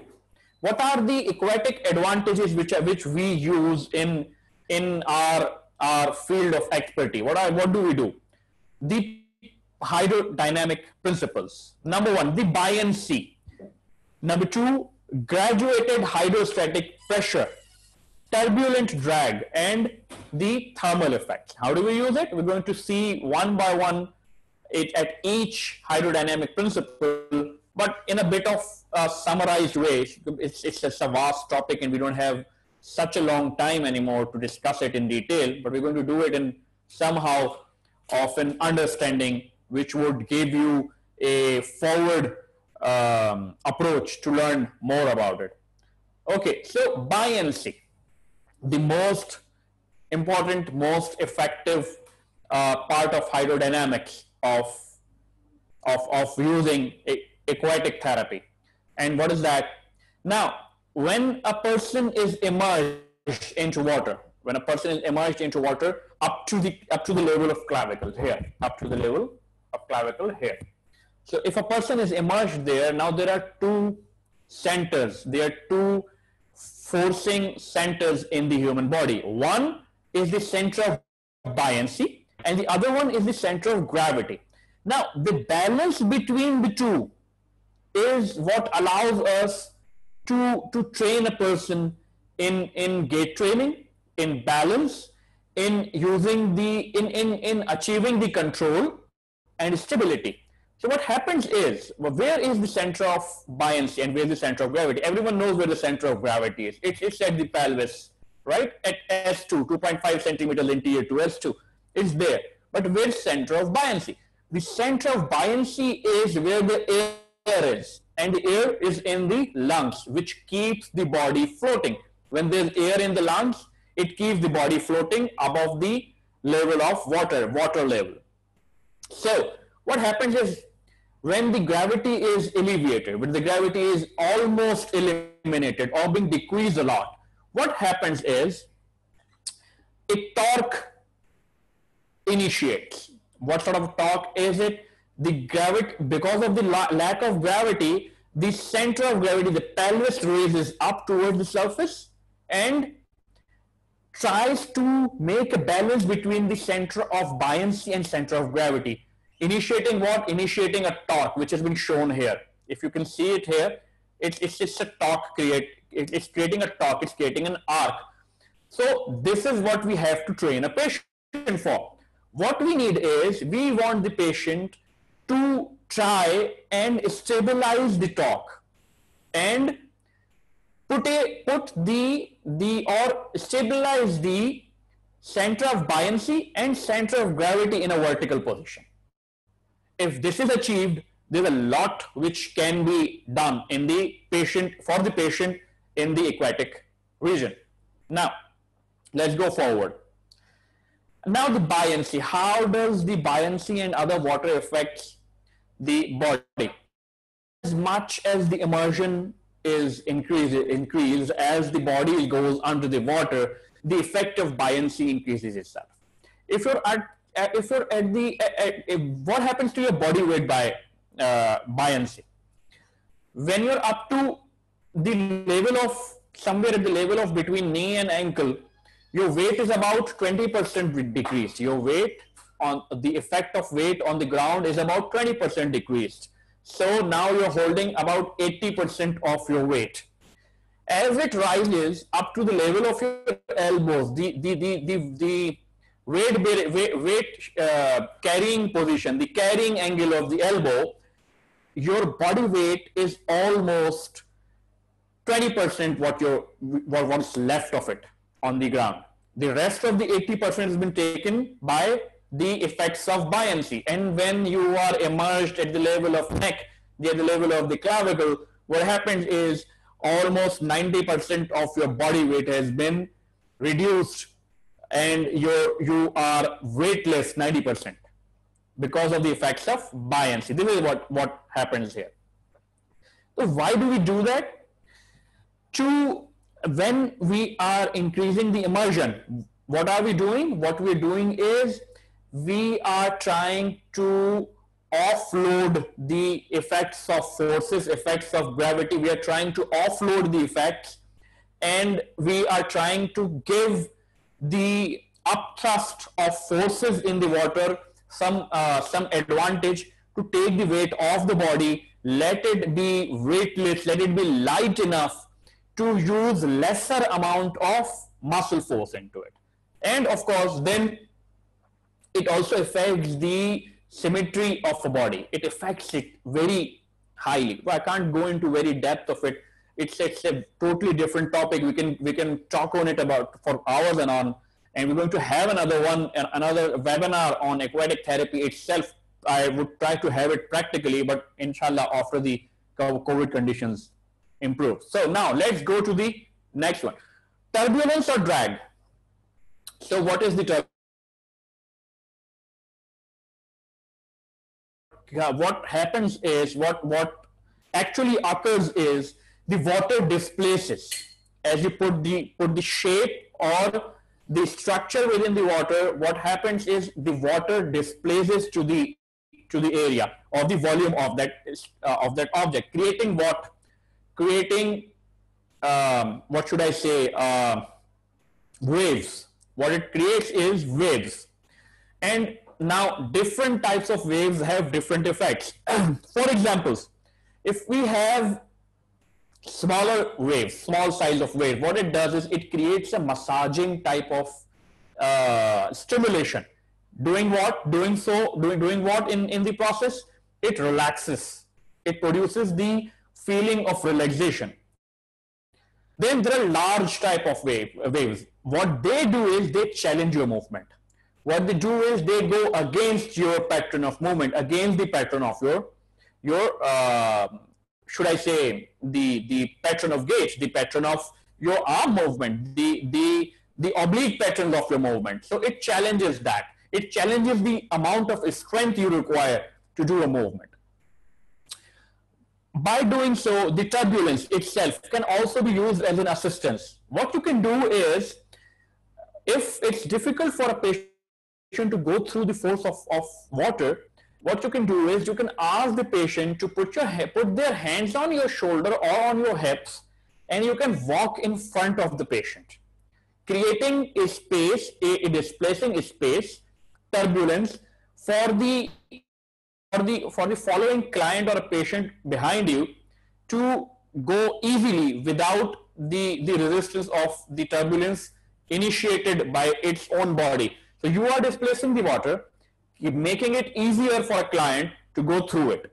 So this is how you can we can work with it. You can you, you can work with the client in a group group or individually both. It's it's it's quite uh, you it can or it can quite be used in both uh, manners in groups or in simply in an individual situation the thermal effects. What should be the temperature of water? What should be the temperature of the pool uh, uh, of the pool of the hydro, hydrostatic uh, chamber what you're using?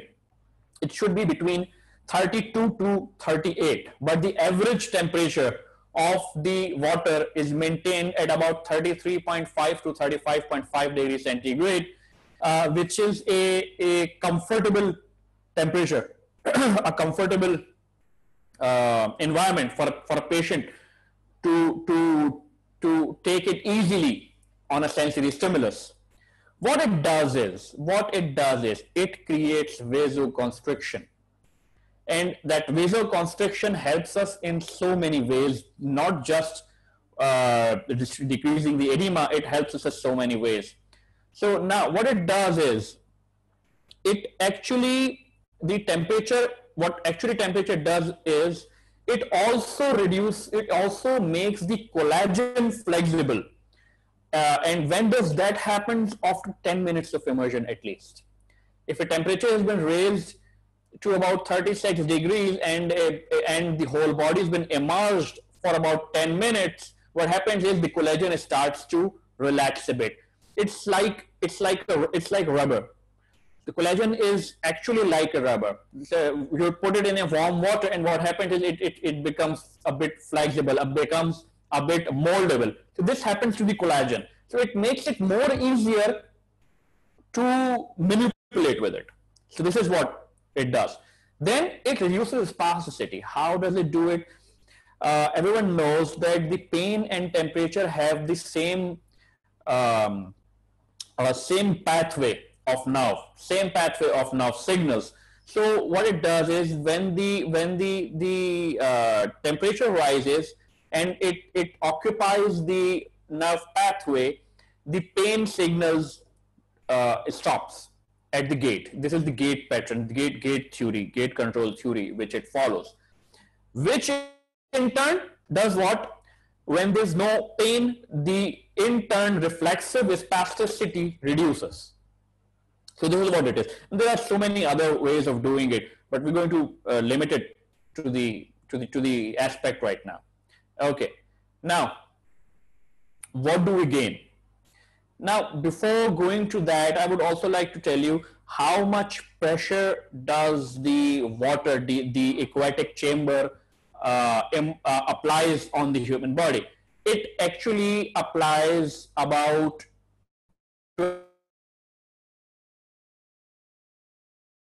of water immersion. If your body is immersed in uh, in one square foot of depth, it gives you about 20 mmHg of pressure.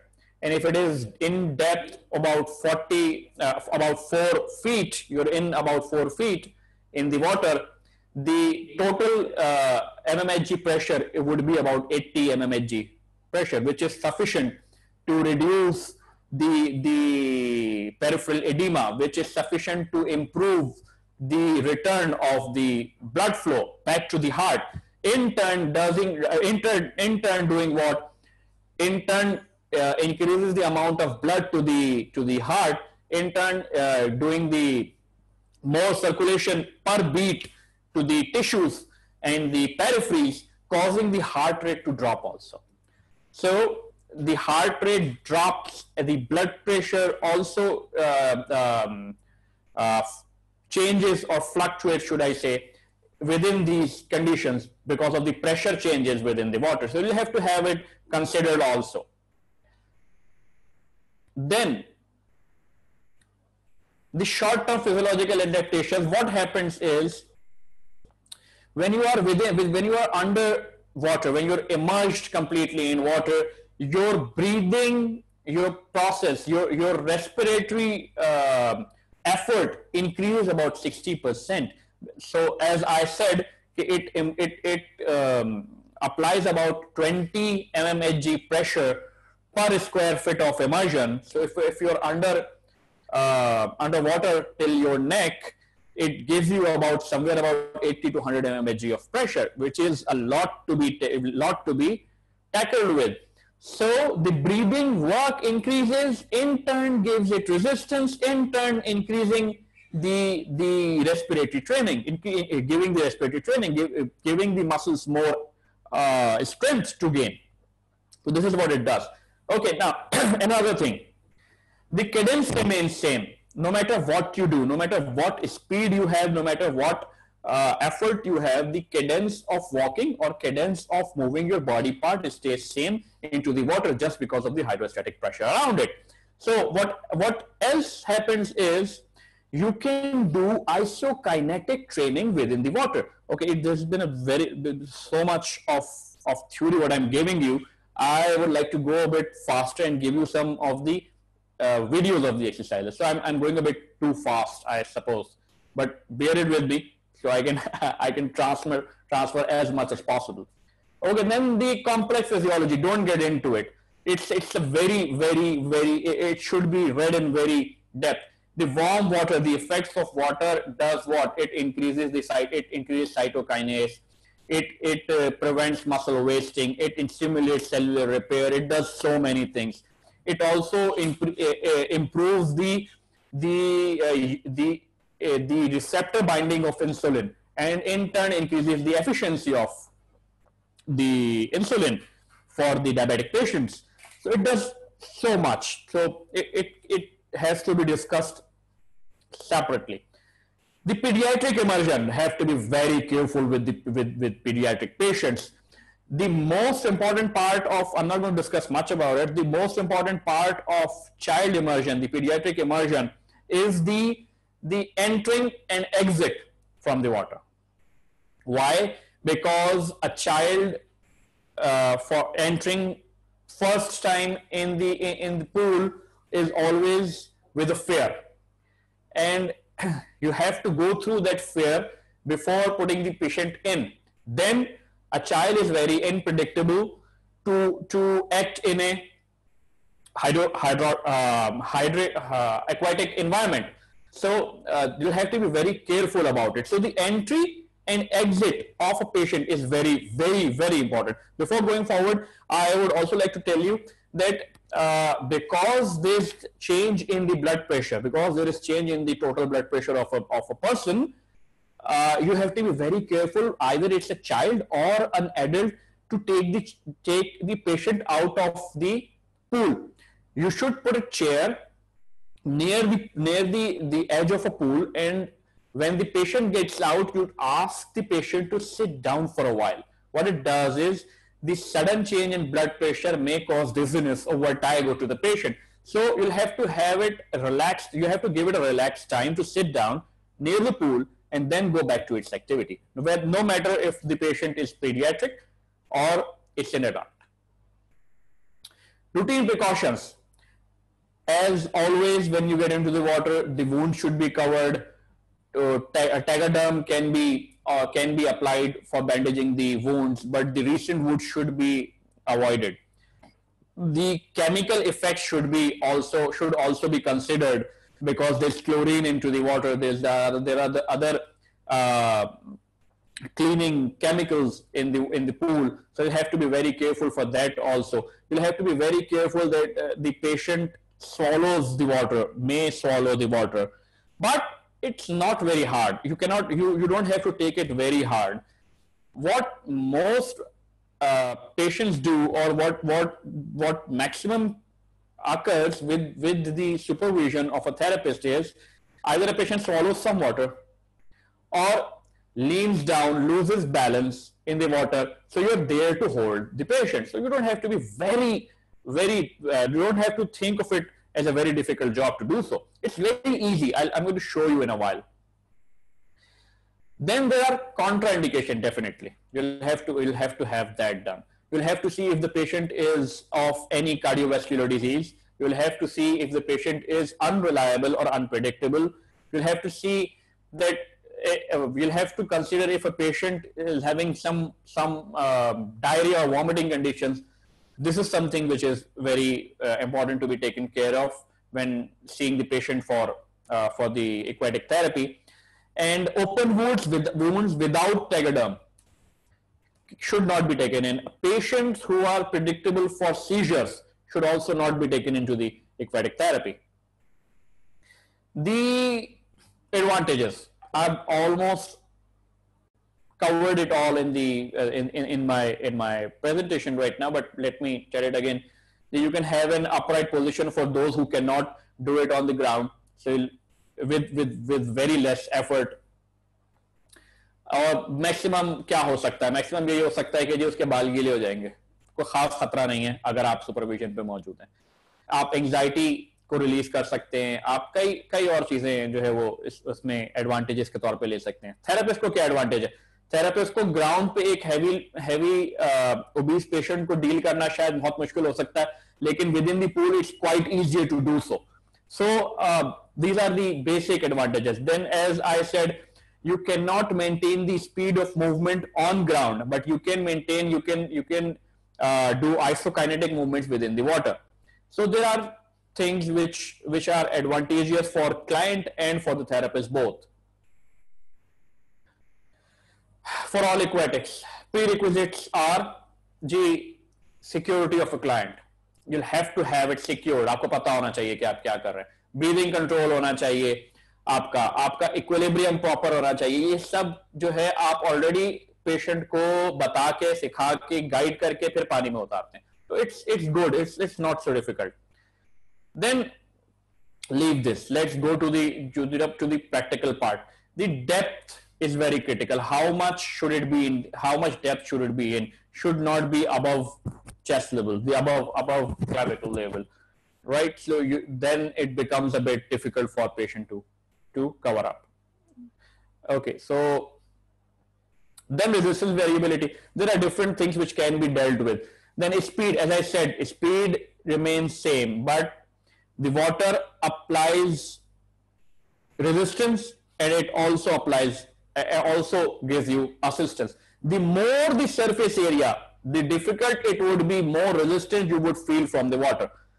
Liver uh, if it's difficult for a patient to put his hands by the side and walk what it can do is you can make make an make an arch like this and walk through the water the patient can do is you can you can cross the arms across the chest and walk, uh, decreasing the lever arms.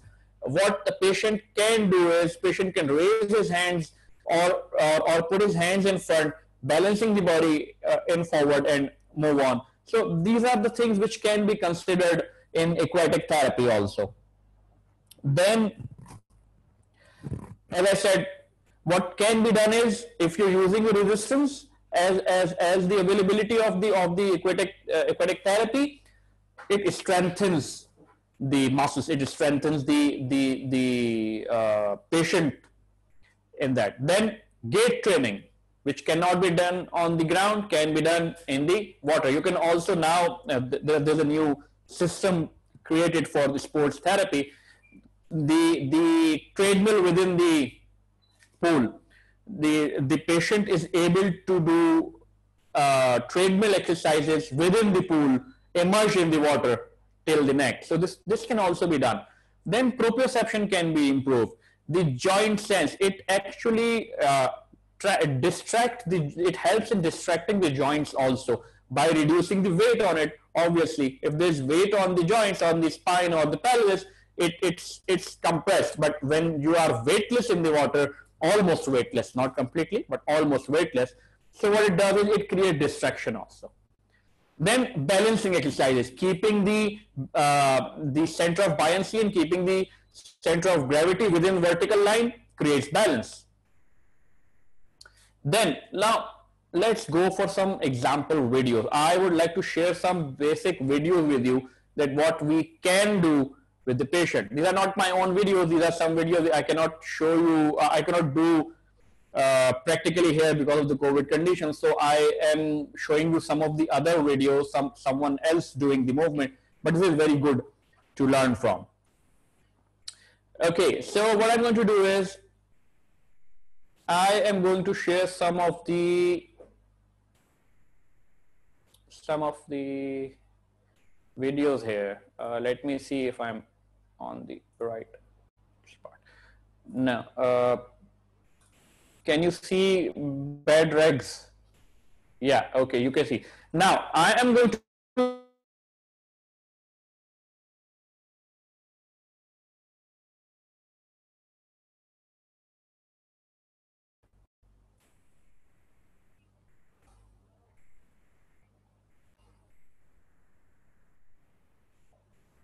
Now, these are some of the exercises uh, which creates the, the sense of balance and in turn doing so, the horizontal effects can also increase the, uh, the strength of, of, of a patient doing the movements and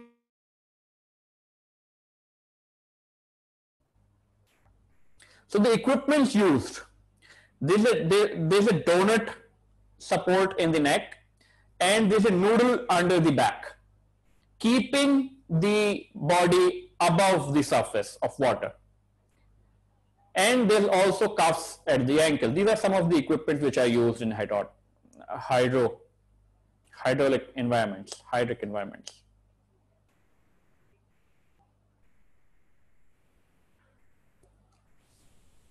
Okay, this is what you do. Okay, uh, now I'm going to show you another one. हुँ?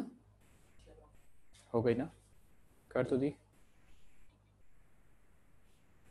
नहीं आएँगे नज़र आ रहे अरे यार okay now I am going to show you another one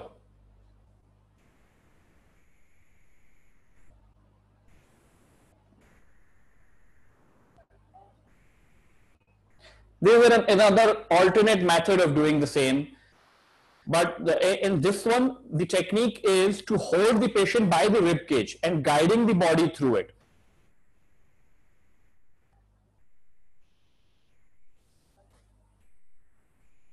Now I'm going to show you an important part of it in, in, in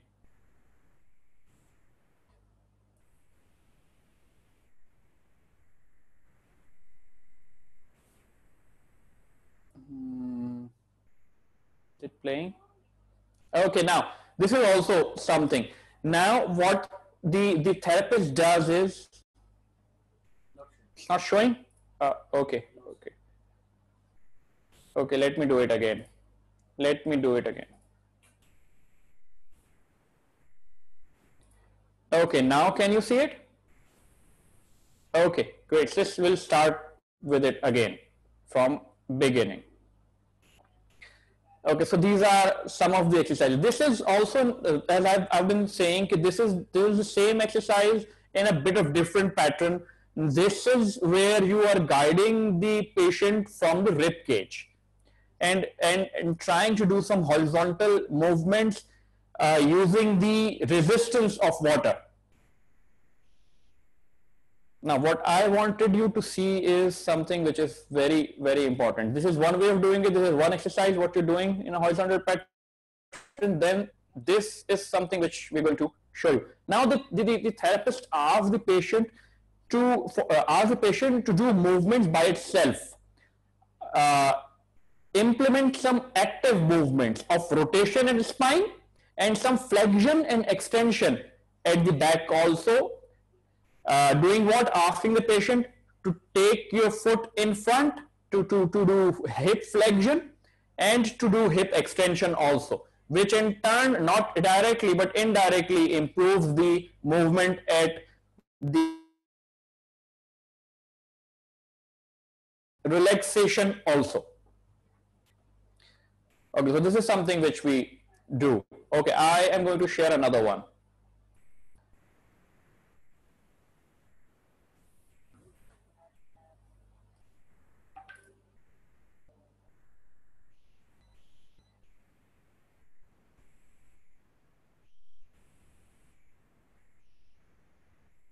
which one is it? This one. Okay, now this is another one.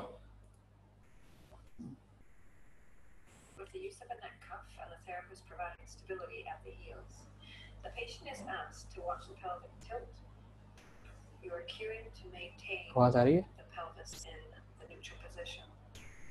You ask the client to raise their hands slowly out of the water so they become aware of where their pelvis is rocking.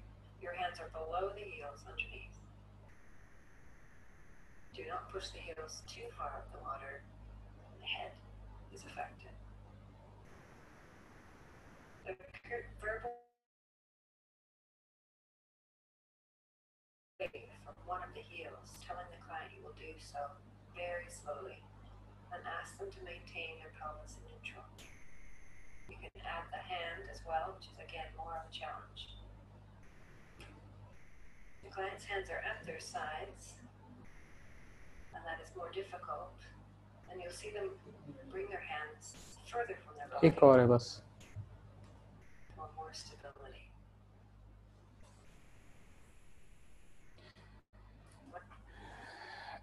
Okay, I'm going to show you one more and then we're going to stop the session. We're going to end the session and that would be it then.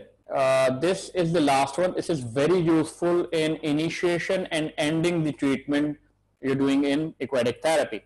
This is known as seaweed, which is very helpful in relaxation and very helpful in gaining the confidence of a patient. I suppose everyone can see that. Yeah. Okay.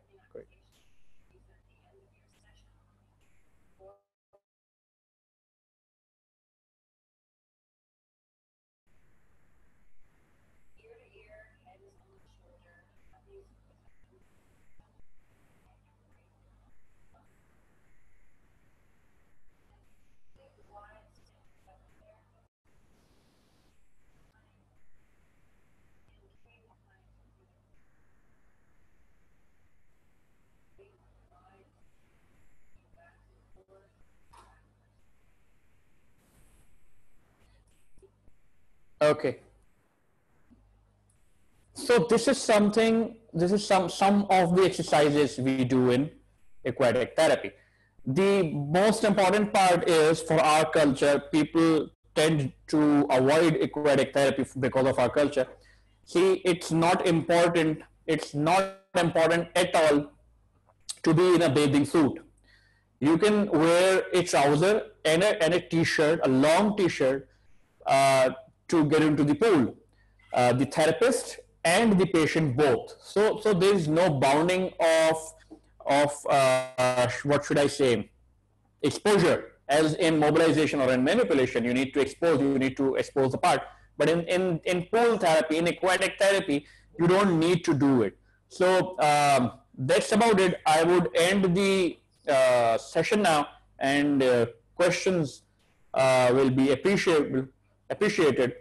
And over to you, Dr. Dileep, so we can consider the questions also. Okay. Uh, we can take questions from both Dr. Nazia and from me. Both. You can take the questions. Okay. So I have one question. At what age Bobath will start? So it starts the day RNS company and कर दो no age limit अगर आपके पास जिस जिस as में start bobat right away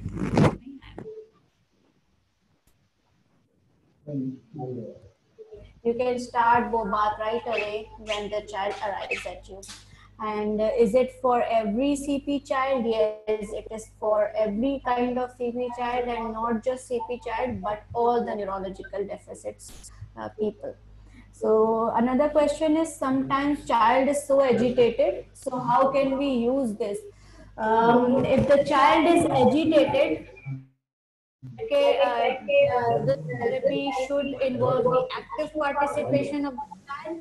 So if child is agitated, not responsive, then the first thing is to develop pairing with the child. पहले आप child की पेयरिंग डेवलप हो आप उसके साथ खेलें प्ले करें डू द प्ले थेरेपी जब बच्चे को आपके पास सिक्योरिटी फील होगी सेफ़ फील होगा then you can start with the exercises and all जब बच्चा एजिटेटेड है you should not start with the exercises पहले उस बच्चे को फील कराएँ, उसके साथ खेलें उसके साथ इंटरेस्टिंग टॉयज उसके सामने रखे ताकि वो उसको ये ना लगे कि मेरी वर्जिश कराने का टाइम आ गया और मैं क्लिनिक में गया हूँ। और फिर जब आप स्टार्ट भी करें देन आपका जो थेरेपी है वो बड़ी प्लेफुल होनी चाहिए। बहुत इंटरेस्टिंग होनी चाहिए। सो so, हमारे पास काफ़ी हर तरह के इसके ऊपर पूरा बिहेवियरल मैनेजमेंट का तरीका है कि हाउ है ना किस तरह बच्चे के साथ पेयरिंग डेवलप की जाती है okay third question is if the child is having G tube, which position or technique we use to make the child roll? Um, इसका जवाब इस तरह दूँगी कि जी ट्यूब का रीजन पता एक तो होना चाहिए कि अगर काफ़ी सिवियर केस है काफ़ी प्रॉब्लमेटिक है बच्चे का गैस्ट्रिक तो फिर आई वुड हमें ये देखना होगा प्रोज एंड कॉन्स रोलिंग कराना क्या इतना ज़रूरी है? अगर रोलिंग के उसके अलावा भी काम चल सकता मतलब अगर उसकी प्रॉब्लम्स इतनी ज़्यादा है तो आई डोंट थिंक सो कि you should go for rolling और अगर वो काफ़ी कंफर्टेबल है और इस, ऐसे कोई गैस्ट्रिक इश्यूज़ नहीं है तो हमें फिर पेरेंट्स से पूछना चाहिए कि उसका प्रोन टाइम कितना होता है? वो उल्टा लेटने को बर्दाश्त कर लेता है क्योंकि उस रोलिंग में प्रोन भी होता है। ये सब भी अगर आपका क्लियर है देन आप जब रोलिंग करते हैं और प्रोन पोजीशन पे आएँगे तो आप जो की पॉइंट ऑफ़ कंट्रोल होगा, वो आप स्टमक एरिया टमी एरिया पे रख के उसको थोड़ा एलिवेट कर लेंगे, ताकि वो बिल्कुल ग्राउंड के साथ टच ना हो। तो आपका एक की पॉइंट ऑफ़ कंट्रोल हैंड हो सकता है और दूसरा उसका वो जी ट्यूब का एरिया हो सकता है कि जब आप प्रोन लें तो वो एलिवेटेड हो जाए। गिवन कि उसको कोई प्रॉब्लम्स ना हो, क्योंकि रोलिंग से जो है वो वॉमिटिंग भी इंड्यूस हो जाती है। तो आपको ये सब चीज़ों का इंडिकेशन और कॉन्ट्रा इंडिकेशन देख के आपको ये करना होगा कि थेरेपी का फ़ायदा ज़्यादा है कि नुकसान ज़्यादा है। ये आपको देख के फिर डिसीज़न देना होगा कि रोलिंग इतनी नीड उसको कराना ज़रूरी है कि नहीं। अच्छा फिर है do we have to use Bobath only for hemiplegic child or can also use for other to, so I, as i said earlier case so uh, bobath is for every type of uh, और सिर्फ़ CP के लिए ही नहीं बल्कि हर neurological condition के लिए applicable है with all as group बच्चों का geriatrics anybody with neurological problems hope that answers the question और अगर इसके अलावा भी आपके जहन में कोई क्वेश्चन है तो you are most welcome thank you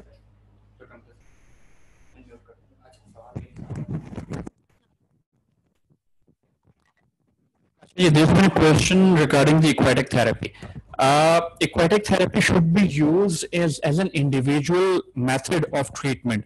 It should not be involved with others directly. Indirectly, yes. NDT and aquatic therapy both can be before and after each other, right? They can be combined together. Putting uh, principle of NDT within the hydrostatic, uh, uh, within the hydrodynamics, absolutely yes, it can be done when can it be done? Uh, there's no certain point where we should say this is the point where both can be combined. No, aquatic therapy can be can be done can be performed for every every individual every individual of neurological disorder or musculoskeletal both. But the thing is, your uh, assessment is the one which is very important. Where do you need it to be done? Is it necessary to put a uh, put a patient into a pool? Is it is it uh, is, is it the requirement or this is something some modality you would like to use?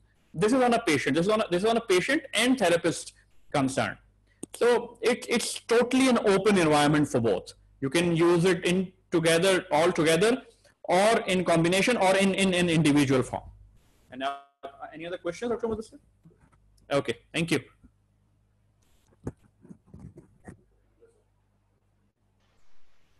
Uh, thank you so much, uh, Dr. Fahad, uh, for sharing such wonderful uh, information with us. And secondly, all the I hope all the questions are answered very well. if you get any sort of question or any question is unanswered yet, we can answer it uh, at the end of the session. Now, uh, now we warmly welcome uh, to the chief guest, Dr. Mohammad Asif, uh, Director, IIRS, uh, ISRA University Karachi campus. And we are here and we are blessed with such a legend in the therapy field. And now we are uh, going to hand over this uh, webinar to hear the words from the chief guest, the words of honor. And thank you so much, Dr. Uh, Dr. Mohammad Asif, uh, for joining us. Now it's up to you. Dr. Mohammad Asif, can you hear me, sir?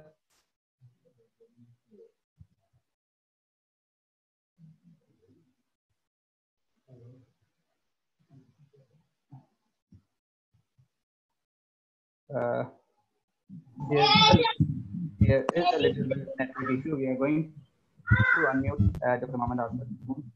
Uh, Bismillahirrahmanirrahim.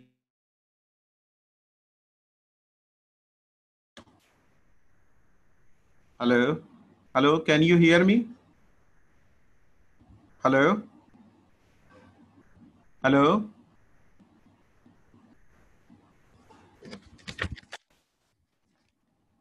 Hello. Can you hear me? Hello. yes, Hello. sir. Uh, Hello. sorry for the interruption. Yes, sir. We can hear you properly. Okay, okay, okay. Thank, thank you, Dr. Dileep. Thank, thank you, Dr. Fahad Lasi and Dr. Uh, Nazia Hozaifa. Uh, Bismillah ar-Rahmani Rahim. Assalamu alaikum, everyone. In the name of Allah, the most beneficent and merciful, I'm very pleased to be here uh, uh, today for the closing of this webinar. My name is Professor Dr. Muhammad Asif.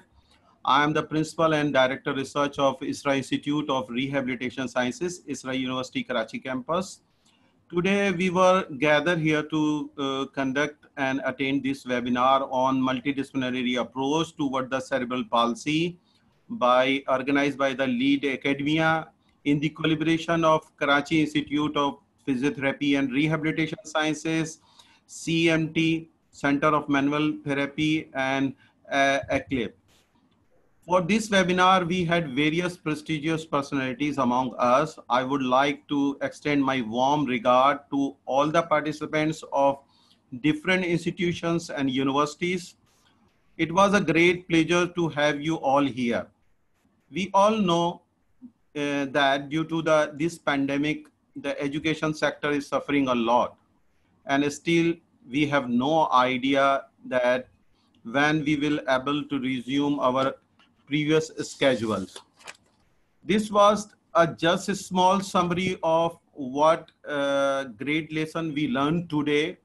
Uh, I would like especially, uh, uh, I would especially like to thank our course facilitator or today webinar uh, presenters, Dr. Atif Hussain for overview and assessment for CP patient and uh, uh, Dr. Fahad Farooq Lasi presenting on aquatic therapy for uh, cerebral palsy patient and Dr. Nazia Hozaifa for Bobath technique in CP patient. Uh, I would like, uh, uh, I would also like to thank the organizer, Dr. Dileep Kumar, CEO of the CMT and Dr. Vinod Kumar, Assistant Professor of ISRA Institute of Rehabilitation Sciences for organizing today wonderful session. As Dr. Atif Hussain uh, explained earlier, we are in a smart planning of the digital resource management system for development of our noble profession with the collaboration of Dr. Fahad Farooq Lasi. Please keep in touch with us on social media to continuous update your knowledge and clinical skills. Uh, uh, and के ऊपर मैं यही कहना चाहूँगा कि इस तरह की एक्टिविटीज़ जो होती हैं वो नॉलेज शेयर करने का एक बहुत बड़ा सोर्स होती हैं इस करंट पेंडेमिक टाइम के ऊपर ये तमाम जो फैसिलिटेटर हैं ये एक नोबल प्रोफेशन है और ये अपना जॉब जो है वो बहुत बेहतर अंदाज के अंदर कर रहे हैं। मुझे खुशी है कि यंगस्टर्स आगे आ रहे हैं लाइक डॉक्टर फहद फारूक लासी। अब मैं यंग तो नहीं कहूँगा, फहद फारूक लासी को सीनियर्स हो गई है डॉक्टर नाजिया हुजैफा बट दिलीप और डॉक्टर विनोद कुमार और दिलीप कुमार। इन यंगस्टर्स को देख के मुझे बहुत खुशी होती है नाजिया और डॉक्टर फहद, फारूक लासी तो अब जूनियर नहीं है।